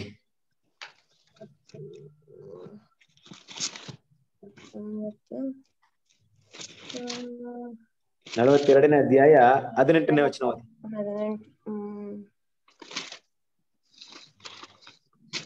ಈಗಿರಲು ದೇವರನ್ನು ಯಾರಿಗೆ ಹೋಲಿಸಿರಿ? ಯಾವ ನಲವತ್ತೆರಡನೇ ಅಧ್ಯಾಯ ಹದಿನೆಂಟನೇ ವಚನ. ಕಿವುಡರೇ ಕೇಳಿರಿ. ಕಿವುಡರೇ ನಿಮ್ಮ ಕಣ್ಣಿಟ್ಟು ನೋಡಿರಿ. ನನ್ನ ಸೇವಕನ ಹೊರತು ಯಾರು? ಕುರುಡರು. ನಾನು ಕಳಿಸುವ ದೂತನಂತೆ ಯಾರು? ಕಿವುಡರು. ನನ್ನ ಭಕ್ತನ ಹಾಗೆ ಯಾರು? ಕುರುಡರು. ಯೆಹೋವನ ಸೇವಕನೇ. ಪ್ರಕಾರ ಅಂಧಕರು ಯಾರು? ನೀನು. ಬಹು ವಿಷಯಗಳನ್ನು ಕಂಡಿದ್ದರೂ ನಿನಗೆ ಗಮನವಿಲ್ಲ. ಸಾಕು. ಅಲ್ವಾ? ಇಲ್ಲಿ ಈ ಪಾಯಿಂಟ್ ಯಾರ ಬಗ್ಗೆ ಮಾತಾಡ್ತಾರೆ ಗೊತ್ತಾ? ನಮ್ಮ ಕರ್ತನಾದ ಯೇಸುಕ್ರಿಸ್ತನ ಬಗ್ಗೆ ಮಾತಾಡೋದು. ಇದು ಒಂದು ಸಬ್ಜೆಕ್ಟ್ ಇದೆ. ಸೊ ದೇವ್ರ ಮಕ್ಕಳು ನಿಮ್ಗೆ ಯಾವ್ದು ತಗೊಳ್ತಾರೆ? ತುಂಬಾ ಬ್ಯೂಟಿಫುಲ್ ಆದಂತ ವಿಷಯ. ಏನಪ್ಪಾ ಈ ಪಾಯಿಂಟ್ ಏನಪ್ಪಾ ಅಂದ್ರೆ ಕರ್ತನಾದ ಯೇಸು ಕ್ರಿಸ್ತನು ನೋಡ್ಬೇಕಾಗಿಲ್ಲ. ಹೃದಯವನ್ನೇ ನೋಡ್ತಾ ಇದ್ರು. ಕರೆಕ್ಟ್ ಅಲ್ವಾ. ಹೃದಯವನ್ನೇ ನೋಡ್ತಾ ಇದ್ರು. ನಮ್ ನಮ್ ಕಣ್ಣಿಗೆ ಕಾಣಿಸ್ತಾ ಇರೋದು ಆತನ ಕಣ್ಣಿಗೆ ಕಾಣಿಸ್ತಾ ಇತ್ತು. ಆದ್ರೆ ವಾಕ್ಯ ಏನಂತಿದೆ ಆತನ ಬಗ್ಗೆ? ಆ? ಕುರುಡನು ಅಂಧಕನು ಅಂತ ಹೇಳ್ತಾ ಇದ್ದೆ. ಯಾಕೆ ಅಂತ ನೋಡಿದ್ರೆ ನಮ್ ತರ ಅವ್ರು ನೋಡ್ತಾ ಇರ್ಲಿಲ್ಲ. ಅವ್ರು ನೋಡುವಂತ ದೃಷ್ಟಿ ಬೇರೆ ಇತ್ತು, ಅಲ್ವಾ? ನಮ್ಮ ಸಿಸ್ಟರ್ ಹೇಳೋದಲ್ಲ ಅಂದ್ರೆ ನೆಟ್ಟಗೆ ಅಂದಾಗ ನಮ್ಮ ಉದ್ದೇಶಗಳು, ನಮ್ಮ ಭಾವನೆಗಳು ಯಾವ ರೀತಿ ಇರುತ್ತೆ? ನಮ್ಮ ನೋಟ ಯಾವ ರೀತಿ ಇರುತ್ತೆ? ಅಲ್ವಾ? ಅದ್ರ ಮೇಲೆ ಅವಲಂಬಿತವಾಗಿರುತ್ತೆ. ನಮ್ಮ ಹೃದಯ ಪಾಪದಿಂದ ಇದ್ದಾಗ ನಮ್ಮ ನೋಟ ಕೂಡ ಪಾಪದಲ್ಲಿರುತ್ತೆ ನಮ್ಮ ಹೃದಯ ಶುದ್ಧ ಇದ್ದಾಗ ನಮ್ಮ ನೋಟ ಕೂಡ ಶುದ್ಧವಾಗಿರುತ್ತೆ. ಹಾಗೆ ನಾವು ಕಣ್ಣು ಶುದ್ಧವಾಗಿರ್ಬೇಕಾ ನಮ್ಮ ಹೃದಯನ ಶುದ್ಧವಾಗಿ ಕಾಪಾಡ್ಕೊಬೇಕು. ಅದು, ಆದ್ರೆ ಇಲ್ಲಿ ಕರ್ತನ ದೇಶಕ್ಕೆ ಬಂದಿರೋಂತ ಒಂದು ವಿಷಯ ಏನಪ್ಪಾ ಅಂದ್ರೆ, ಆತನು ಅನೇಕ ವಿಷಯ ನೋಡಿ ಕೂಡ ನೋಡದೆ ಇದ್ಬಿಟ್ರಂತೆ. ಅಂದ್ರೆ ಏನರ್ಥ? ತುಂಬಾ ಒಳ್ಳೆ ವಿಷಯ ನಮ್ ಲೈಫ್ ಅಲ್ಲಿ. ನಾವು ಕರ್ತನ ದೇವಸ್ಥಾನ ತರ ಇರೋ ಕಲಿಬೇಕು ಅಲ್ವಾ? ನನ್ ಕಣ್ಮುಂದೆ ಕಾಣೋದು ಎಲ್ಲಾ ಕಾಣುತ್ತೆ ಕೆಲವೊಂದು. ಅಲ್ವಾ? ಪಾಪಕೃತಿಗಳು ಕಾಣಿಸುತ್ತೆ, ಕೆಲವೊಂದ್ ಟೈಮಲ್ಲಿ ಏನಾಗುತ್ತೆ? ಏನಿದ್ರು ನಾವ್ ಏನ್ ಮಾಡ್ಬೇಕು ಕೆಲವೊಂದೆಲ್ಲ ಕೇರೆ ಮಾಡ್ಕೊಂಬಾರ್ದು. ನಾವೇನಾದ್ರೂ ಅದ್ರ ಬಗ್ಗೆ ಇನ್ವಾಲ್ವ್ಮೆಂಟ್ ಆದ್ರೆ ಬೇರೆ ರೀತಿ. ನೋಡಿ ನೋಡ್ದಾಗಿ ಸುಮ್ಮನೆ ಇರ್ಬೇಕು. ಕೆಲವೊಂದು ವಿಷಯವನ್ನ. ಅದು ಜ್ಞಾನದಿಂದ ಇರಬೇಕು. ಈಗ ನಾನು ಹೇಳೋದೆಲ್ಲ ಕೆಲವೊಂದ್ ವಿಷಯ ನೋಡಿ ನೋಡ್ದೆ ಸುಮ್ಮನೆ ಅಂದ ತಕ್ಷಣ ನಮ್ ಸಹೋದರಿ ಎಲ್ಲ ಕಷ್ಟ ಪಡ್ತಾ ನೋಡಿ ನೋಡ್ದೆ ಸುಮ್ಮನೆ ಆಗ್ಬಿಟ್ರೆ ಆ ಅರ್ಥದಲ್ಲಿ ಹೇಳ್ತಾ ಇಲ್ಲ ನಾನು. ನಾನು ನೋಡ್ದು ನೋಡದೆ ಇಲ್ಲಂಗ್ ಆಗ್ಬಿಡ್ತೀನಿ. ತಲೆ ಹಂಗಲ್ಲ. ಜ್ಞಾನದಿಂದ ಇರುತ್ತೆ. ಯಾವ ವಿಷಯಗಳನ್ನ ನೋಡ್ಬೇಕು, ಯಾವ ವಿಷಯನ ನಾವು ಕೇರ್ ಮಾಡ್ಬಾರ್ದು. ಅಂದ್ರೆ ಗಮನ ಕೊಡ್ಬಾರ್ದು. ಕೆಲವೊಂದ್ ಟೈಮಲ್ಲಿ ನಮ್ಗೆ ಹೆಂಗಿರುತ್ತೆ, ನೀವು ಅಭ್ಯ, ನೀವು ಗಮನಿಸಿದ್ರ, ನಿಮ್ಗೂ ಕೂಡ ಎಕ್ಸ್ಪೀರಿಯನ್ಸ್ ಆಗಿರುತ್ತೆ. ನಾವು ಒಂದು ವಿಷಯನ ನೋಡಿರ್ತೀವಿ. ಬಟ್ ಆ ವಿಷಯನ ನಾವು ಯಾವಾಗ್ಲೂ ನೋಡಿದ ರೀತಿಯಲ್ಲಿ ನಾವ್ ಇರ್ತೀವಿ. ಯಾಕಂದ್ರೆ ನಮ್ಮ ಕಣ್ ಮಾತ್ರ ನೋಡ್ತಾ ಇರುತ್ತೆ, ನಮ್ಮ ಮೈಂಡ್ ಎಲ್ಲ ಎಲ್ಲಿರುತ್ತೆ? ಬೇರೆ ಎಲ್ಲೋ ಇರುತ್ತೆ. ನಿಮ್ ನೆನ್ಪಿದ್ಯಾ? ಆಮೇಲೆ ನಾವು ನೋಡಿದಾಗ ನಾವು ನೋಡಿಲ್ವಲ್ಲ ಇದು ಅಂತ ಅನ್ಸುತ್ತೆ. ಯಾಕಂದ್ರೆ ನಾವು ಅದನ್ನ ನಮ್ ಕಣ್ ನೋಡ್ತಾ ಇರುತ್ತೆ ಬಟ್ ನಮ್ ಮೈಂಡ್ ಅಲ್ಲಿ ಇರಲ್ಲ. ಆದ್ರಿಂದ ನಮ್ ಮೈಂಡ್ ಏನ್ ಮಾಡಲ್ಲ, ಅದನ್ನ ರಿಕಾರ್ಡ್ ಮಾಡಿರಲ್ಲ ಮೈಂಡಿಗೆ ಹಾಗೆ, ಅಲ್ವಾ? ಸೊ ಅದಕ್ಕೆ ಏನಂತಾರೆ ಗೊತ್ತಾ? ಅದ ಡೋಂಟ್ ಕೇರ್ ಅದಕ್ಕೆ ಗಮನಿಸದೇ ಇರುವಂತ ವಿಷಯ. ದೇವ್ರ ಮಕ್ಕಳು ಹಾಗೆ ಪ್ರಪಂಚದಲ್ಲಿ ಹಲವಾರು ವಿಷಯಗಳು ನಮ್ಮ ಸುತ್ತಲೂ ಇರುತ್ತೆ. ನಾವು ಅದಕ್ಕೆ, ನಾವು ಮೇನ್ ಥಿಂಗ್ಸ್ ಕಣ್ಣು, ಅಲ್ವಾ? ನೆಕ್ಸ್ಟ್ ಪಾಯಿಂಟ್ ಬರೋಣ. ಓಕೆ ಹಾಗಾಗಿ next question question number okay ಪ್ರಶ್ನೆ ಆನಂದ ಪ್ರಶ್ನೆ ಅಂತ ನಾನು ತಿಳ್ಕೊಂಡಿದೀನಿ ಇಲ್ಲಿ ಒಂದು ತಪ್ಪಾಗಿದೆ ಓಕೆ ಏನ್ ಬರುತ್ತೆ? ಹಾ, ಕುರುಡರಿಗೆ ಕಣ್ಣು ಬರುತ್ತವೆ, ಕುಂಟರಿಗೆ ಕಾಲು ಬರುತ್ತವೆ. ಕುಷ್ಠರೋಗಿಗಳು ಶುದ್ಧರಾಗುತ್ತಾರೆ ಕಿವಿಡರಿಗೆ ಕಿವಿ ಬರುತ್ತವೆ. ಸತ್ತವರು ಜೀವವನ್ನು ಹೊಂದುತ್ತಾರೆ, ಬಡವರಿಗೆ ಸುವಾರ್ತೆ ಸಾರಲ್ಪಡುತ್ತದೆ. ಈ ಮಾತನ್ನು ಯಾರು ಯಾರಿಗೆ ಹೇಳಲು ಹೇಳಿದರು ಈ ಮಾತನ್ನು ಯಾರು ಯಾರಿಗೆ ಹೇಳಲು ಹೇಳಿದರು. ಯೇಸು ಸ್ವಾಮಿ ಸ್ನಾನಿಕನಾದ ಯೋಹಾನನಿಗೆ ಹೇಳು ಅಂತ ಹೇಳಿ ಕಳಿಸ್ತಾರ ಯೋಹಾನನ ಶಿಷ್ಯರಿಗೆ. ವೆರಿ ಗುಡ್ ಅಲ್ವಾ? ಸೊ ಈ ಮಾತನ್ನ ಸ್ನಾನಿಕನಾದ ಯೋಹಾನಿಗೆ ಹೇಳುವಂತ ಒಂದು ಪಾಯಿಂಟ್ ಕರೆಕ್ಟ್ ಹ್ಮ್. ಶಿಷ್ಯರು ಆ ಶಿಷ್ಯರಿಗೆ ಹೇಳಿ ಕಳಿಸ್ತಾರೆ ಬ್ರದರ್ ಗುಡ್ ಗುಡ್ ಮತ್ತೇನ ಸುವಾರ್ತೆ ಹನ್ನೊಂದನೇ ಅಧ್ಯಾಯ ನಲವತ್ತ ನಾಲ್ಕನೇ ವಚನ ನಿಮ್ ಬೈಬಲ್ ಓದಿ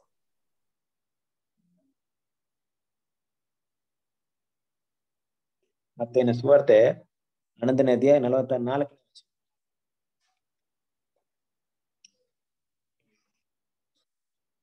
ಬ್ರದರ್ ಹನ್ನೊಂದೇ ಅಧ್ಯಾಯದಲ್ಲಿ ನಲ್ವತ್ತು ಯೋನು ನಲವತ್ನಾಲ್ಕು ಮತ್ತೆ ಹನ್ನೊಂದು ಯೋಹಾನನ ಆಳಿಗೆ ನಲವತ್ನಾಲ್ಕು ಹೇಳ್ತಾರೆ ನಮ್ಗೆ. ಬ್ರದರ್ ಹನ್ನೊಂದನೇ ಅಧ್ಯಾಯದಲ್ಲಿ ನಲವತ್ತು ವಚನ ಬರಲ್ಲ ಬ್ರದರ್ ಒಂದ್ ನಿಮಿಷ. ಮತ್ತೆ ಹನ್ನೊಂದು ನಲವತ್ನಾಲ್ಕು ಬರ್ತಿಲ್ವಾ? ಆಳಿಗೆ ಹೇಳ್ತಾನೆ ಬ್ರದರ್ ಅವ್ರ ನಂಬಿಕೆ ಏನೇನ ಕೇಳ್ತಾನ ಅವ್ರ ಬಂದಿರೋದು ಐತನೋ ಮತ್ತೊಬ್ಬರಿಗೆ ಕಾಯ್ಬೇಕು ಅಂತ ಹೇಳ್ದಾಗ ಹೇಳ್ಕೊಡ್ತಾನೆ ಎಲ್ಲಗಳು ನೋಡಿದ್ರು ನೀವು ಆತ. Okay okay okay. ಒಂದ್ ನಿಮಿಷ. ಎಲ್ಲಿ ಬರುತ್ತೆ ಹೇಳ್ತೇನೆ.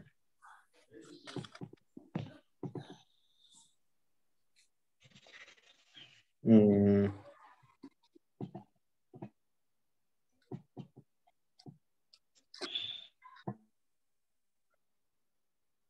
ಓಕೆ ಹನ್ನೊಂದನೇ ಅಧ್ಯಾಯ ನಾಲ್ಕನೇ ವಚನ ಓದಿ. ಸಾರಿ ಆತನು ಅವರಿಗೆ ಪ್ರತ್ಯುತ್ತರವಾಗಿ ಕುರುಡರಿಗೆ ಕಣ್ಣು ಬರುತ್ತವೆ ಕುಂಟರಿಗೆ ಕಾಲು ಬರುತ್ತವೆ ಕುಷ್ಠರೋಗಿಗಳು ಶುದ್ಧರಾಗುತ್ತಾರೆ.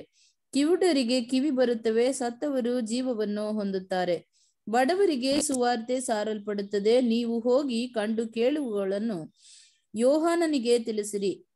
ನನ್ನ ವಿಷಯದಲ್ಲಿ? ಸಂಶಯ ಪಡದವನೇ ಧನ್ಯನು.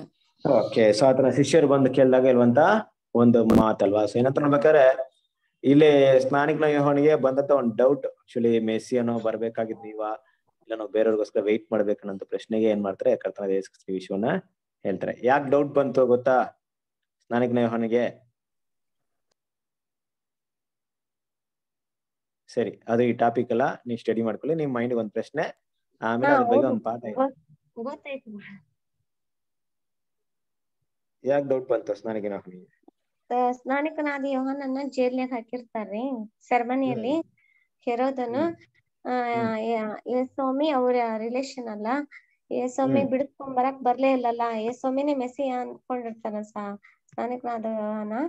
ಯಾಕ್ ಬಿಡಿಸ್ಕೊಂಡ್ ಬರಕ್ ಬರ್ಲಿಲ್ಲ ಅನ್ನೋದಕ್ಕ ಹೌದಾ ಅಲ್ಲ ಮೆಸ್ಸಿ ಹೌದಾ ಅಲ್ಲ ಅಂತ ಡೌಟ್ ಬರ್ತೈತ್ರಿ. Okay good good good very good ಸರಿ ಈಗ ಈ ಮಾತನ್ನ ಹೇಳಿರ್ತಾರಲ್ವಾ? ಈಗ ಶಿಷ್ಯರು ಏಸ್ ಕ್ರಿಸ್ತ ಹೇಳ್ತಾರಲ್ವಾ? ಆ ಶಿಷ್ಯರಿಗೆ ಈ ವಿಷಯನ ಹೋಗಿ ಸ್ನಾನಿಕ ಯೋಹನಿಗೆ ಹೇಳಿ ಅಂತ ಹೇಳಿದ ತಕ್ಷಣ ಸ್ನಾನಿಕ ಸ್ನಾನಿಕನ ಯೋಹನ ಏನ್ ಮಾಡಿರ್ಬೋದು ಏಸ್ ಕ್ರಿಸ್ತನ ಮೇಲೆ? ಡೌಟ್ ಅಲ್ಲಿ ಹೋಗಿರ್ಬೋದಾ? ವೆರಿ ಗುಡ್ ಸೊ ಸ್ನಾನಿಕ ಯೋಹನ ಬಗ್ಗೆ ತುಂಬಾ ಒಂದು ಒಳ್ಳೆ ಸಾಕ್ಷಿ ಇದೆ. ಹಾಗಾಗಿ ಈ ಮಾತನ್ನ ಸ್ನಾನಿಕ ಯೋಹನಿಗೆ ಹೇಳೋದಕ್ಕೆ ಆತನ ಶಿಷ್ಯರ ಬಳಿಯಲ್ಲಿ ಏಸ್ಕಿಸ್ತನ ಇರುವಂತ ಹೇಳುವಂತ ಒಂದು ಮಾತು ಸ್ನಾನಿಕ ಯೋಹನನಿಗೆ ಯೇಸು ಕ್ರಿಸ್ತನ ಹೇಳಬೇಕಾಗಿರುವಂತ ಒಂದು ಮಾತು. ಓಕೆ ನೆಕ್ಸ್ಟ್ ಕ್ವಶನ್ ಮುಗಿತಾ, ಇನ್ನ ಇದೆಯಾ? ಓಕೆ ಕೊನೆಯ ಪ್ರಶ್ನೆ.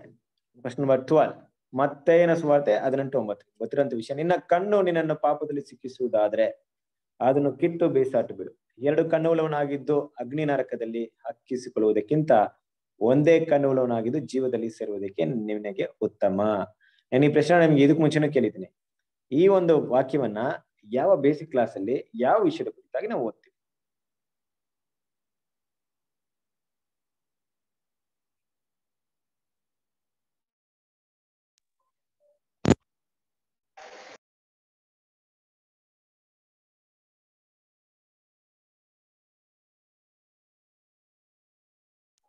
ಬ್ರದರ್ ಪರಿಶುದ್ಧವಾದ ನಂಬಿಕೆ ಪಾಠದಲ್ಲಿ ಬ್ರದರ್.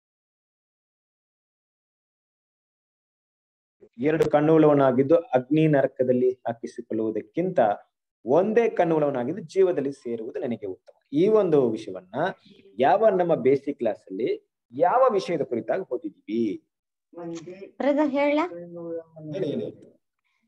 ನರಕ ಪಾಠ. ಗುಡ್ ಸೊ ಏನ್ ನರಕದಲ್ಲಿ ಏನ್ ಪಾಯಿಂಟ್ ಇದೆ ಅದು? ಏನ್ರಿ? ನರಕದಲ್ಲಿ ಯಾವ ವಿಷಯದ ಕುರಿತಾಗಿ ಓದ್ತೀವಿ ಈ ವಾಕ್ಯವನ್ನ ಎಲ್ಲಿಗೆ ತಗೊಳ್ತೀವಿ? ಏನ ಏನ್ ವಿಷಯನ ವಿವರಣೆ ಮಾಡೋದಕ್ಕೆ ಇದನ್ನ ತಗೊಳ್ತೀವಿ. ಇದು ನರಕ ಅಂದ್ರೆ ಸಮಾಧಿ ಅನ್ನೋ ಕುರಿತು. ಕರೆಕ್ಟ್. ಈ ವಾಕ್ಯವನ್ನ ನೋಡಿ ಈ ವಾಕ್ಯದಲ್ಲಿ ನರಕ ಅಂತಿದೆ. ಕರೆಕ್ಟ್ ಅಲ್ವಾ? ಆಲ್ರೆಡಿ ವಾಕ್ಯದಲ್ಲೇ ನರಕ ಅಂತಿದೆ. ಈ ವಾಕ್ಯವನ್ನ ತಗೊಳ್ತೀವಿ. ಸಾಮಾನ್ಯವಾಗಿ ಈಗ ನಾವು ಬಾಬಿಲೋನ್ ಅಂದ್ರೆ ನಮ್ಮ ಹೆಸರು ಕ್ರೈಸ್ತ ಸಹೋದರ ಹತ್ರ ಹೋಗಿ ನರಕ ಇಲ್ಲ ಅಂತ ಹೇಳಿದಾಗ ಅವ್ರು ತಗೊಂಡ್ ನಮ್ಮ ಹತ್ರ ತಗೊಂಡು ಈ ವಾಕ್ಯನ ಇಟ್ಬಿಡ್ತಾರೆ. ಇಲ್ವಾ? ನೋಡ್ರಿ ನೀವು ಹೋದ್ರಿ ಸರಿಯಾಗಿ ಹೋದ್ರಿ. ಮತ್ತೆ ನಸುವಾರ್ತೆ ಹದಿನೆಂಟನೇ ನದಿ ಒಂಬತ್ತನೇ ವಾಕ್ಯ ಹೋದ್ರಿ. ನಿನ್ನ ಕಣ್ಣು ನಿನ್ನನ್ನು ಪಾಪದಲ್ಲಿ ಸಿಕ್ಕಿಸುದಾದ್ರೆ ಅದನ್ನ ಕಿತ್ತು ಬೀಸಾಟ್ ಬಿಡು. ಎರಡು ಕಣ್ಣುಗಳವನಾಗಿದ್ದ ಅಗ್ನಿ ನರಕದಲ್ಲಿ ಹಾಕಿಸಿಕೊಳ್ಳುವುದಕ್ಕಿಂತ ಅಂತ ವಾಕ್ಯ ಎಷ್ಟು ಸ್ಪಷ್ಟವಾಗಿದೆಯಲ್ಲ ಇಲ್ಲಿ? ನೀವೇನ್ ನರಕ ಇಲ್ಲ ಅಂದ್ಬಿಡ್ತೀರಾ? ಅಂತ ಯಾರ ಕೇಳ್ಬಿಟ್ರಪ್ಪ. ನಾವೇನಂತ ಉತ್ತರ ಕೊಡಕ್ಕಾಗುತ್ತೆ? ಕಣ್ಣು ಅಂತ ಅಂದಾಗ ನಾವು ಪಾಠದಲ್ಲಿ ಕೇಳಿದ್ರಿ ಕಣ್ಣು ಅಂದಾಗ ಕಣ್ಣಿಗೆ ಸಂಬಂಧಪಟ್ಟ ಕೆಲಸ. ಆ, ಅದನ್ನ ಬಿಟ್ ಬಿಡು ಅದನ್ನ ಬಿಟ್ ಬಿಡೋದು ಅದನ್ನ ಅದ ಅದ್- ಅದನ್ನ ಬಿಡೋದ್ರಿಂದ ನಾವು ಅದ ಕಣ್ಣಿನ ವಿಷಯದಿಂದ ಬಿಡ್ ಬಿಡ್ಬೇಕಂತ. ಓಕೆ ಗುಡ್ ಕರೆಕ್ಟ್ ಕಣ್ಣು ಅಂದ್ರೆ ನಮ್ಮ ನೋಟ ನಮ್ಮ ಜ್ಞಾನ ಅಲ್ವಾ? ಯಾವ ವಿಷಯ ವಿಷಯ ನಾವು ತಿಳ್ಕೊಳ್ಳುವಂತ ವಿಷಯ ನಮ್ಮನ್ಗೆ ಸತ್ಯಕ್ಕೆ ಅಡ್ಡಿಯಾಗಿರೋ ದೇವರ ದೇವರ ಜೊತೆಗೆ ಬೆಳವಣಿಗೆಗೆ ಅಡ್ಡಿಯಾಗಿರುತ್ತೋ ದೇವರ ಐಕ್ಯಕ್ಕೆ ಅಡ್ಡಿಯಾಗಿರುತ್ತೋ ಕ್ರಿಸ್ತನ ಸಾರೂಪ್ಯತೆಗೆ ಬೆಳೆಯೋದಕ್ಕೆ ಅಡ್ಡಿಯಾಗಿರುತ್ತೆ ಅದನ್ನ ಕಟ್ ಮಾಡಿ ಬಿಸಾಕಿ. ಅನ್ನೋದು ಕರೆಕ್ಟ್ ಪಾಯಿಂಟ್ ಆಲ್ರೈಟ್ ಪಾಯಿಂಟ್ ಎಲ್ಲ ಕರೆಕ್ಟ್ ಆಗಿ ಹೇಳ್ತಾ ಇದೆ ಬಟ್ ಇಲ್ಲಿ ಈ ನರಕ ಅಂತ ವಿಷಯ ಬಂದಿದೆ. ಅದು ಕಿತ್ತು ನರಕದಲ್ಲಿ ಯಾಕೆ ಅಂತ ಪಾಯಿಂಟ್ ಬಂದಿದೆ. ಅಲ್ವಾ? ಈ ನರಕ ಅನ್ನೋದನ್ನ ಯಾವ್ದಕ್ಕೆ ಇದ್ ಮಾಡ್ತೀವಿ? ಏನಂತ ಇದ್ ಮಾಡ್ತೀವಿ ನಾವು?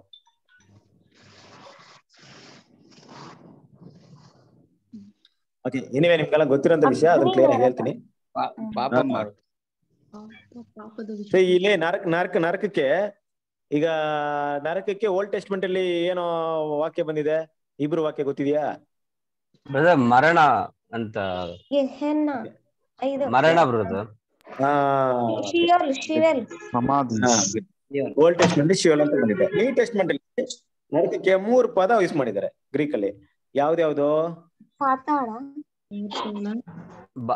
ಸಮಾಧಿಗೆ ಮತ್ತೆ ಅಲ್ಲಿ ಟ್ರಾನ್ಸ್ಲೇಷನ್ ಬಂದಿದೆ? ಬ್ರದರ್ ಹ್ಯಾಡೆಸ್ ಕತ್ತಲೆ ಗುಂಡಿ ಕತ್ತಲೆ ಗುಂಡಿ ಅಂತ. ಆಮೇಲೆ? ಕಲ್ ಆ, ಕಲ್ ನಾನೇನ್ ಕೇಳ್ತಾ ಅದು ಹೇಳ್ತಾರಲ್ಲ ಬ್ರದರ್? ವೆರಿ ಗುಡ್ ಎಲ್ಲಾ ಉತ್ತರವನ್ನ ಎಲ್ಲ ಮಿಕ್ಸರ್ ಆಗಿ ಹೇಳ್ತಾ ಇದ್ರೆ. ಕೇಳಿ ಏನ್ ಹೇಳ್ತಾ ಇದ್ದೀನಿ ಅಂದ್ರೆ ಕನ್ನಡದಲ್ಲಿ ನೀವ್ ಹೇಳ್ಬೇಕಾದ್ರೆ ನಾನು ಪಾತಲ ನರಕ ಅಗ್ನಿ ಸ್ಥಳ ಇದರ ಗುಂಡಿ ಅಂತ ಯೂಸ್ ಮಾಡಿದ್ರೆ ಕರೆಕ್ಟ್ ಓಕೆ ನಾನ್ ಗ್ರೀಕ್ ಅಲ್ಲಿ ಯೂಸ್ ಮಾಡಂತ ಮೂರ್ ಪದ. ಎರಡು ಒಂದ್ ಹೇಳಿದ್ರಿ. ಯಾವ್ದು? ಗೆಹನ ಅಂತ ಹೇಳಿದ್ರಿ ಎಡೆಸ್ ಅಂತ ಹೇಳಿದ್ರಿ. ಇನ್ನೊಂದ್ ಪದ ಯಾವ್ದು? ಶಿಯೋಲ್ ಅಂತ. ಶಿಯೋಲ್ ಓಲ್ಡ್ ಟೆಸ್ಟ್ಮೆಂಟ್ ಅಲ್ಲಿ ಇಬ್ರದ್ದು ಹ್ಮ್. ನ್ಯೂ ಟೆಸ್ಟ್ಮೆಂಟ್ ಅಲ್ಲಿ ಹೇಡಸ್ ಗೆಹನ್ ಅಂತ ಬರುತ್ತೆ. ಇನ್ನೊಂದು ಪದ ಯಾವುದು? ಅಲ್ಲ ಗ್ರೀಕ್ ಅಲ್ಲಿ. ಟರರ್ ಅಂತ ಏನ? ಆ, ಟ- ಟಾಚರು ಅನ್ನುವಂತ ಪದ. ಗುಡ್. ಈ ಮೂರ್ ಪದ ಯೂಸ್ ಮಾಡ್ತಾರೆ. ಇಲ್ಲಿ ಹೇಡಸ್ ಗೆಹನ ಥಾಟೂರ್ ಅಲ್ಲಿ ಯಾವ ಪದವನ್ನು ಯೂಸ್ ಮಾಡಿದ್ದಾರೆ? Gehenna use very good very good ಆಗ್ಲೇ ಹೇಳಿದ್ರಿ ನೀವು. ಓಕೆ ಏನಿವೆ? ಅದನ್ನ ಕನ್ಫರ್ಮ್ ಮಾಡಿದ್ರೆ. ಗೆಹನ್ ಅನ್ನುವಂತ ಪದ ಯೂಸ್ ಮಾಡಿದ್ದಾರೆ. ಏನದು ಗೆಹನ ಅಂದ್ರೆ? ಅದೆಲ್ಲ ಕುಪ್ ಏನು ಕಸ ಎಲ್ಲ ವೇಸ್ಟ್ ಎಲ್ಲ ತಗೊಂಡಾಗ ಹಾಕೋ ಜಾಗ ಬ್ರದರ್ ಅದು ಗೆಹನ. ಹಾ ಎಲ್ಲ ಬೇಡಾದದ್ದೆಲ್ಲ ಎಲ್ಲ- ಬೇಡದೇ ಇರುವಂತ. ವೇಸ್ಟ್ ಎಲ್ಲ ಅದು. ಎರಡನೇ ಮರಣಕ್ಕೆ ಸೂಚನೆ. ಏನ ಪಳ್ಳತ್ತಾಕ್ ಪಳ್ಳ Yes, ಪಳ್ಳ- great. ಗೆ ಹೆಣ್ಣ ಅಂದ್ರೆ ಹೆಣ್ಣ ಅಂದ್ರೆ ಹಿನ್ನೊಮ್ಗೆ ಅಂದ್ರೆ ತಗ್ಗು ಹಿನ್ನೊಮ್ ತಗ್ಗು ಇನ್ನೊಮ್ ಪಳ್ಳತ್ತಾಕು ಇನ್ನೊಮ್ ತಗ್ಗು ಅನ್ನೋದು ಮೊದ್ಲು ಏನ್ ಮಾಡ್ತಿದ್ರು? ಅನ್ಯ ದೇವತೆಗಳಿಗೆ ತನ್ನ ಮಕ್ಕಳನ್ನ ಆಹುತಿ ಕೊಡುವಂತ ಸ್ಥಳವನ್ನ ಇಲ್ಲಿ ಗೆಹನ್ ಅಂತ ಮಾಡಿದ್ರು. ಓಕೆ. ಇದೆಲ್ಲ ನಿಮ್ ಸ್ವಲ್ಪ ರೀಕಾಲ್ ಮಾಡ್ಕೊಳ್ಳಿ ಮೈಂಡ್ ಇಟ್ಕೊಳ್ಳಿ. ಸೊ ಮಾತಾಡ್ಬೇಕಾ ನಾವ್ ಏನ್ ಹೇಳ್ಬೇಕು ನೋಡ್ರಿ? ಇಲ್ಲಿ ಬಂದಿರುವಂತ ಗ್ರೀಕ್ ಪದ ಗೆಹನ್ನ ಗೆಹನ ಅದರ ಅರ್ಥ. ಆ ಕ ಹಿನ್ನೊಮ್ ತಗ್ಗು ಹಿನ್ನೊಮ್ ತಗ್ಗಂದ್ರೆ ಇವತ್ತು ಕಸದ ಸ್ಥಳವಾಗಿದೆ. ಅಲ್ಲಿ ಕಸವನ್ನ ಬಿಡಾಡ್ತ ಬಿಸಾಕ್ತಾರೆ. ಕಸ ಏನ್ ಮಾಡ್ಬೇಕಾಯ್ತು ಅಂದ್ರೆ ಅಲ್ಲಿ ಹತ್ಕೊಂಡು ಉರಿಬೇಕಾಯ್ತು ಬೆಂಕಿ ಹಚ್ತಾ ಇದ್ರು.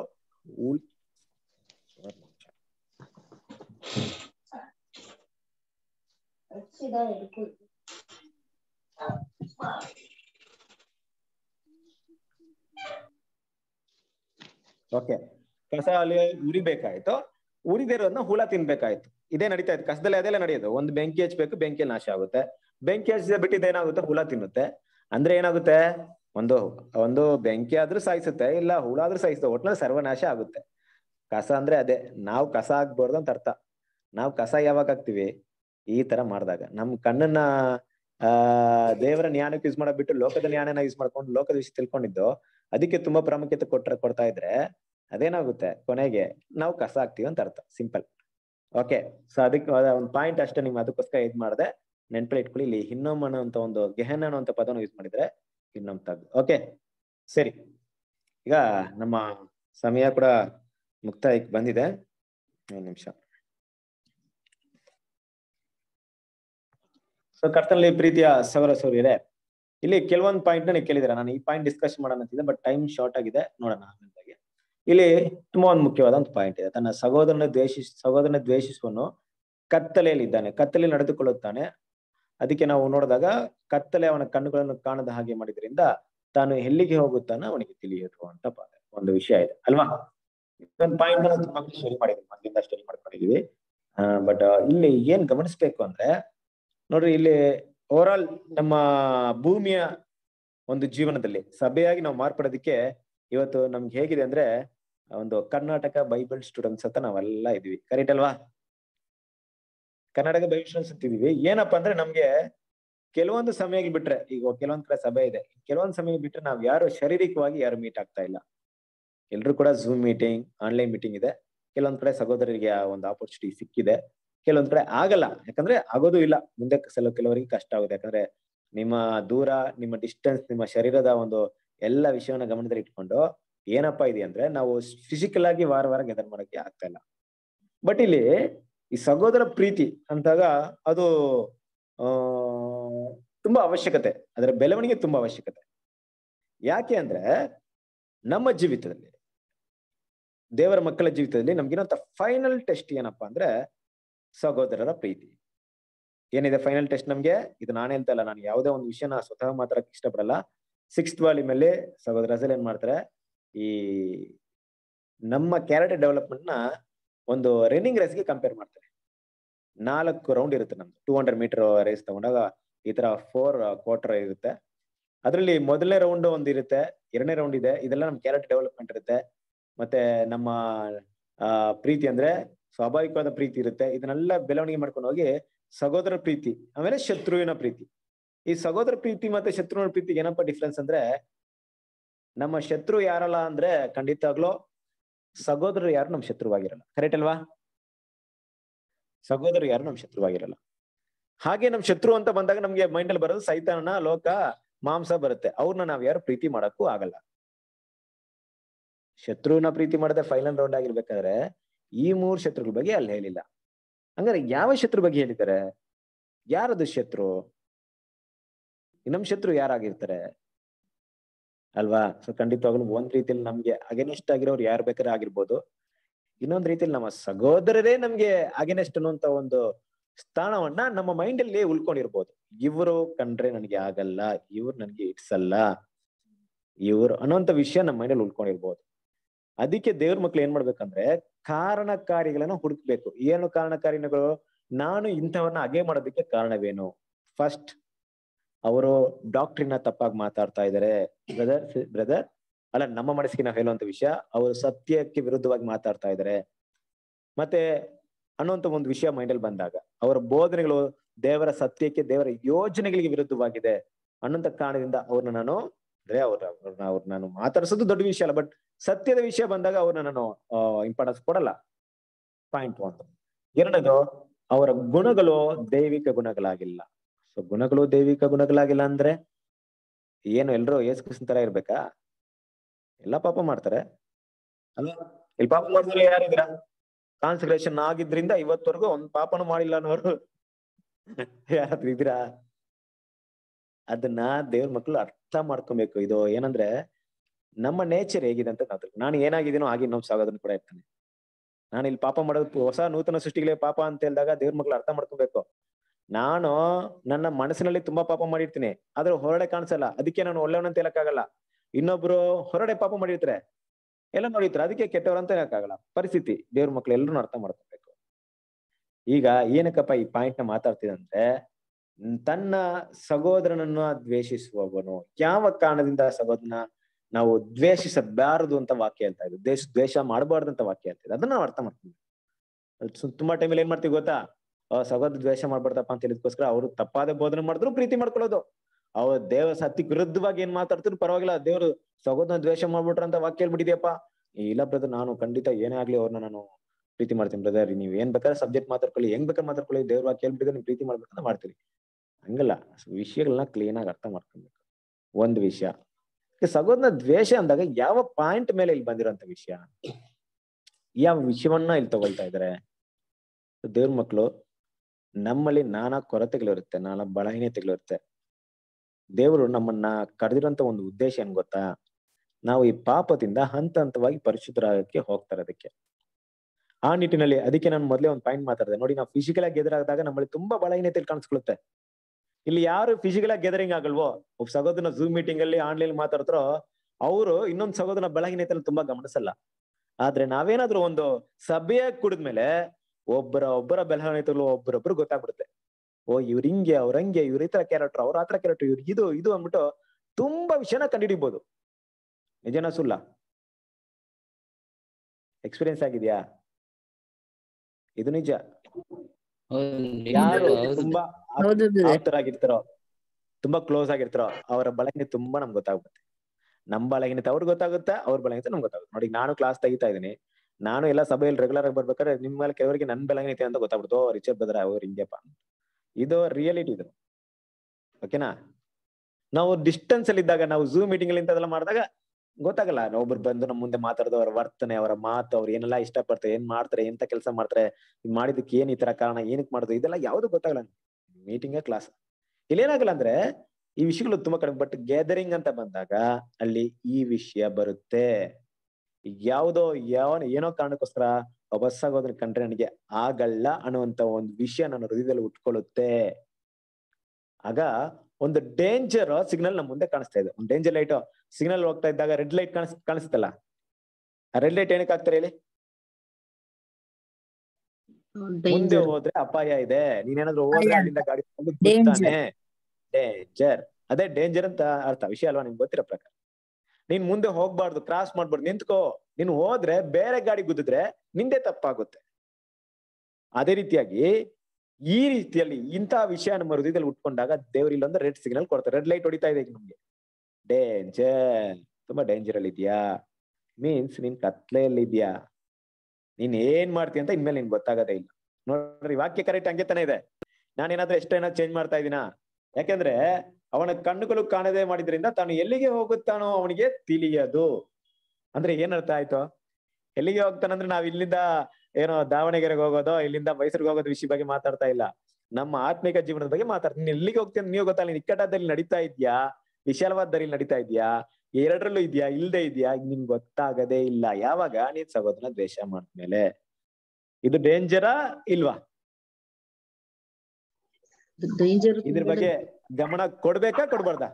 ಕೊಡ್ಬೇಕು. ತುಂಬಾ ಡೇಂಜರ್ ಅದು. ಕರೆಕ್ಟ್ ಅಲ್ವಾ ಖಂಡಿತ ಕೊಡ್ಬೇಕು. ಎರಡ್ ರೀತಿಲಿ ಅವ್ನು ಒಬ್ಬ ಒಂದ್ ವೇಳೆ ನಾನು ಆತರ ಇದ್ರೆ ನನಗೆ ಡೇಂಜರ್ ಸಿಗ್ನಲ್ ಇಲ್ಲ ನಾನು ಆತರ ಇಲ್ಲ ಬ್ರದರ್ ನನಗೆ ಯಾವ ರೀತಿ ಶತ್ರುಗಳೇ ಇಲ್ಲ ಅಂದ್ರೆ ಮುಂದೊಂದು ದಿನ ಬರುತ್ತೆ. ಆದ್ರೆ ನಾನು ಇವಾಗ ಹುಷಾರಾಗಿ ತಿಳ್ಕೊಂಡಿದ್ರೆ ಆ ತಪ್ಪು ನಾನು ಮಾಡಕ್ ಹೋಗಲ್ಲ.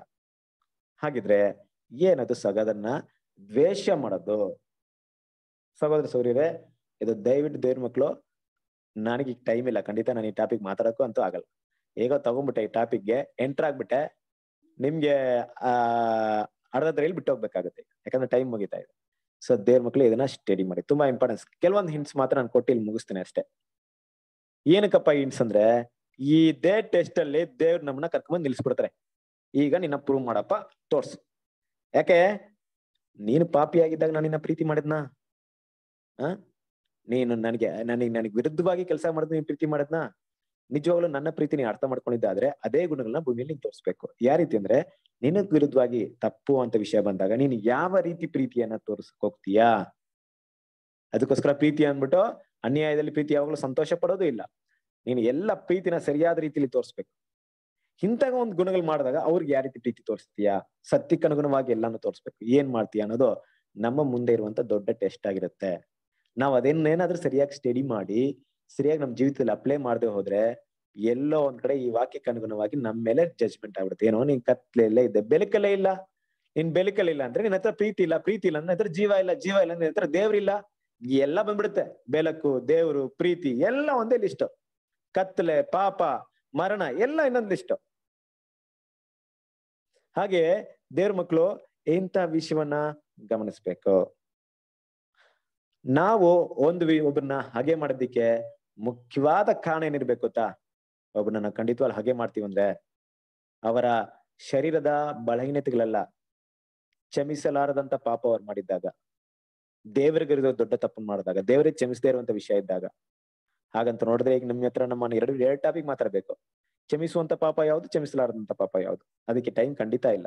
ಬಟ್ ಈ ಪಾಯಿಂಟ್ನ ಮನಸ್ಸಲ್ಲಿ ಇಟ್ಕೊಳ್ಳಿ ಸ್ಟಡಿ ಮಾಡಿ. ಇದೆಲ್ಲ ನಾವು ಎಷ್ಟು ಮಟ್ಟಿಗೆ ದೇವರ ಹತ್ರ ತುಂಬಾ ಕ್ಲೋಸ್ ಆಗಿ ಹೋಗ್ತೀವಿ ಅಷ್ಟು ಮಟ್ಟಿಗೆ ಇದೆಲ್ಲ ನಮ್ ಪ್ರಕಾಶವಾಗಿ ಕಾಣಿಸ್ಕೊಳ್ಳುತ್ತೆ. ಇಲ್ಲವಂದ್ರೆ ಮಂದವಾಗಿ ಕಾಣಿಸ್ಕೊಳ್ಳುತ್ತೆ. ನಾವು ಸಹೋದರನ ದ್ವೇಷ ಮಾಡ್ತಾ ಇದ್ರೆ ನಮ್ಮ ಮನ್ಸು ತಪ್ಪು ಅಂತ ನಮ್ಗೆ ಚುಚ್ಚಲ್ಲ. ನಾವು ಅವ್ರ ಬಗ್ಗೆ ತಪ್ಪ ತಪ್ಪಾಗಿ ಮಾತಾಡ್ತಿರೋ ಅದು ನಮ್ಮ ನಮ್ಮ ಮೈಂಡ್ ನಮ್ನ ನೋಯಿಸಲ್ಲ. ನಮ್ ನಮ್ಮ ಹ್ಯಾಬಿಟೇ ಇದಾಗಿರುತ್ತೆ ಕೂಡ ನಮ್ದು ತಪ್ಪು ಅಂತ ಗೊತ್ತಾಗಲ್ಲ. ನಾವು ಪರ್ಫೆಕ್ಟ್ ಅಂತ ತಿಳ್ಕೊಂಡೆ ನಾವೆಲ್ಲ ನಡೀತಾ ಇರ್ತೀವಿ.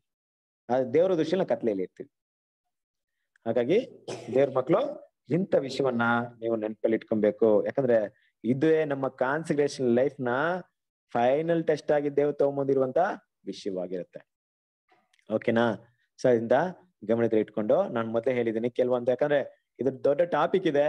ಇವಾಗ ಮಾತಾಡಕ್ಕೆ ಈಗಂತೂ ಸಮಯ ಇಲ್ಲ. ಮುಂದೊಂದು ದಿನ ದೇವ್ ನಿಮ್ಗೆ ಕೊಡ್ತಾರೆ. ಮೈಂಡ್ ಎಲ್ಲ ಏನಕ್ಕಪ್ಪ ವಿಷಯ ಆಗ್ತೀನಿ ಅಂದ್ರೆ ನೀವು ಸ್ವಲ್ಪ ಮೆಡಿಟೇಟ್ ಮಾಡ್ಲಿ ಅಂತ, ಧ್ಯಾನ ಮಾಡ್ಲಿ ಅಂತ, ಮೆಲುಕು ಹಾಕಿ, ವಿಷಯಗಳಿಗೆ ಸಂಬಂಧಪಟ್ಟಂತ ವಿಷಯಗಳನ್ನ ಸಂಗ್ರಹಣೆ ಮಾಡಿ, ಹುಡುಕಿ, ಅವಾಗ ನಿಮ್ಗೆ ತುಂಬಾ ಚೆನ್ನಾಗಿರುತ್ತೆ. ಮುಂದೊಂದ್ ದಿನ ಯಾವತ್ತಾದ್ರು ದೇವ್ರ ಸಹೋದರಿ ಈ ಸಬ್ಜೆಕ್ಟ್ ಮಾತಾಡಿದಾಗ ನಿಮ್ಗೆ ತುಂಬಾ ಬೆನಿಫಿಟ್ ಆಗಿರುತ್ತೆ. ಸೊ ದ್ವೇಷ ಅಂತ ಹೇಳಿದಾಗ ಯಾವ ಕಾರಣದಿಂದ ದ್ವೇಷ ಮಾಡ್ತಿದೀನಿ ನನಗೆ ನನಗೆ ಅವರು ಇಡ್ಸಲ್ವಾ ಅಲ್ಲ, ಸತ್ಯಕ್ಕೆ, ಸತ್ಯದ ವಿಷಯಕ್ಕೆ ವಿರುದ್ಧವಾಗಿ ಮಾಡ್ತಾ ಇದ್ರ ಅಲ್ಲ ಡಾಕ್ಟ್ರಿನ್ ಚೇಂಜ್ ಮಾಡ್ತಾ ಇದ್ರ ಯಾವ ವಿಷಯವನ್ನ ಹಾಗೆ ಮಾಡ್ಬೇಕು? ಏನನ್ನ ಈ ಪ್ರೀತಿ ಮಾಡ್ಬೇಕಂತ ಎಲ್ಲ ವಿಷಯ ಕೂಡ ದೇವ್ರ ಮಕ್ಳು ನಮ್ಗೆ ಗೊತ್ತಿರ್ಬೇಕು. ಇಲ್ದೆ ಹೋದ್ರೆ ನಾವು ಅಪಾಯದಲ್ಲಿ ಇರ್ತೀವಿ. ಇನ್ನೊಂದು ವಿಷಯ ಇಲ್ಲ ನಿಮ್ಗೆ? ಇಲ್ಲಿ ಬರೆದಿರುವಂತ ಕತ್ಲೆಗೆ ಬ್ರದರ್ ಅಸಲ್ ಏನಂತ ಹೇಳ್ತಾರೆ ಗೊತ್ತಾ? ಹಾ? ಗೊತ್ತಿದ್ಯಾ? ನೀವು ರೀಪ್ರಿನ್ಸ್ ಒಂದ್ಸರಿ ತಗೊಂಡ್ ನೋಡ್ರಿ ಆ, ಕತ್ಲೆಗೆ ದೇವ್ರ ಸೆಕೆಂಡ್ ಡೆತ್ ಅಂತ ಹೇಳ್ತಾರೆ. ಎರಡನೇ ಮರಣ ಅಂತ ಹೇಳ್ತಾರೆ. ಯಾಕೆ ಹೇಳ್ತಾರೆ ಗೊತ್ತಾ ಎರಡನೇ ಮರಣ? ಲೋಕದ ಜನ ಇದುವರೆಗೂ ಬೆಳಕನ್ನೇ ನೋಡಿಲ್ಲ ಬಟ್ ನಿಮ್ ಬೆಳಕನ್ನ ನೋಡಿ ಕತ್ಲೆನ ನೋಡಕ್ ಹೋಗ್ತಿರಲ್ಲ. ಅದು ಡೇಂಜರ್ ಸೈನ್ ಸೊ ಇದೆಲ್ಲ ಏನಕ್ಕಪ್ಪ ಅಂದ್ರೆ, ಕೆಲವೊಂದು ನಾನು ಈಗ ಮಾತಾಡ್ತೀನಿ ಅಂದ್ರೆ ಸುಮ್ನೆ ನಿಮ್ ಹತ್ರ ಮಾತಾಡ್ಬೇಕಂತ ಏನೋ ಮಾತಾಡ್ಬೇಕಂತ ಮಾತಾಡಲ್ಲ. ಎಲ್ಲೋ ಏನೋ ವಿಷಯ ಗಮನಿಸಿರ್ತೀನಿ. ಅದನ್ನ ಈ ಪಾಯಿಂಟ್ ಪಾಯಿಂಟ್ಸ್ ಹೇಳ್ಬೇಕಂತ ನನಗೆ ವಾಕ್ಯದಲ್ಲಿ ಏನೋ ಬೈಂಡ್ ಬಂದಿರುತ್ತೆ. ಸಹೋದರಿ ತಿಳಿಸ್ಬೇಕಂತ ಉದ್ದೇಶ ಅಷ್ಟೇ. ಯಾರಿಗೆ ಚುಚ್ಚಬೇಕು ಯಾರಿಗೆ ನೋಯಿಸ್ಬೇಕು ಪಾಯಿಂಟ್ ಮಾಡ್ಬೇಕಂತ ಉದ್ದೇಶ ಅಂತೂ ಯಾವುದಿಲ್ಲ. ಇದು ಸಹೋದರಿಗೆ ಉಪಯೋಗ ಆಗಿರುತ್ತೆ. ಎಲ್ಲೋ ಒಂದ್ ಕಡೆ ಅವರು ಬೀಳೋದಕ್ಕೆ ಕಾರಣವಾಗದೆ ಇರಬಹುದು ಅನ್ನೋ ಉದ್ದೇಶ ಅಷ್ಟೇ ಹೊರತು ಬೇರೆ ಯಾವುದೇ ಉದ್ದೇಶ ಅಲ್ಲ. ಓಕೆ ಸೊ ದೇವ್ರು ನಿಮ್ಮೆಲ್ಲರನ್ನ ಆಶೀರ್ವದಿಸಲಿ. ಸೊ ನಮ್ಗೆ ಟೈಮ್ ಆಯ್ತು. ಇಲ್ಲಿಗೆ ನಮ್ಮ ಇದನ್ನ ಏನ್ ಮಾಡೋಣ. ಬೇರೆ ಯಾರಿಗಾದ್ರೂ ಏನಾದ್ರು ಪ್ರಶ್ನೆ ಇದೆಯಾ ಕೇಳ್ಬೇಕಂತ?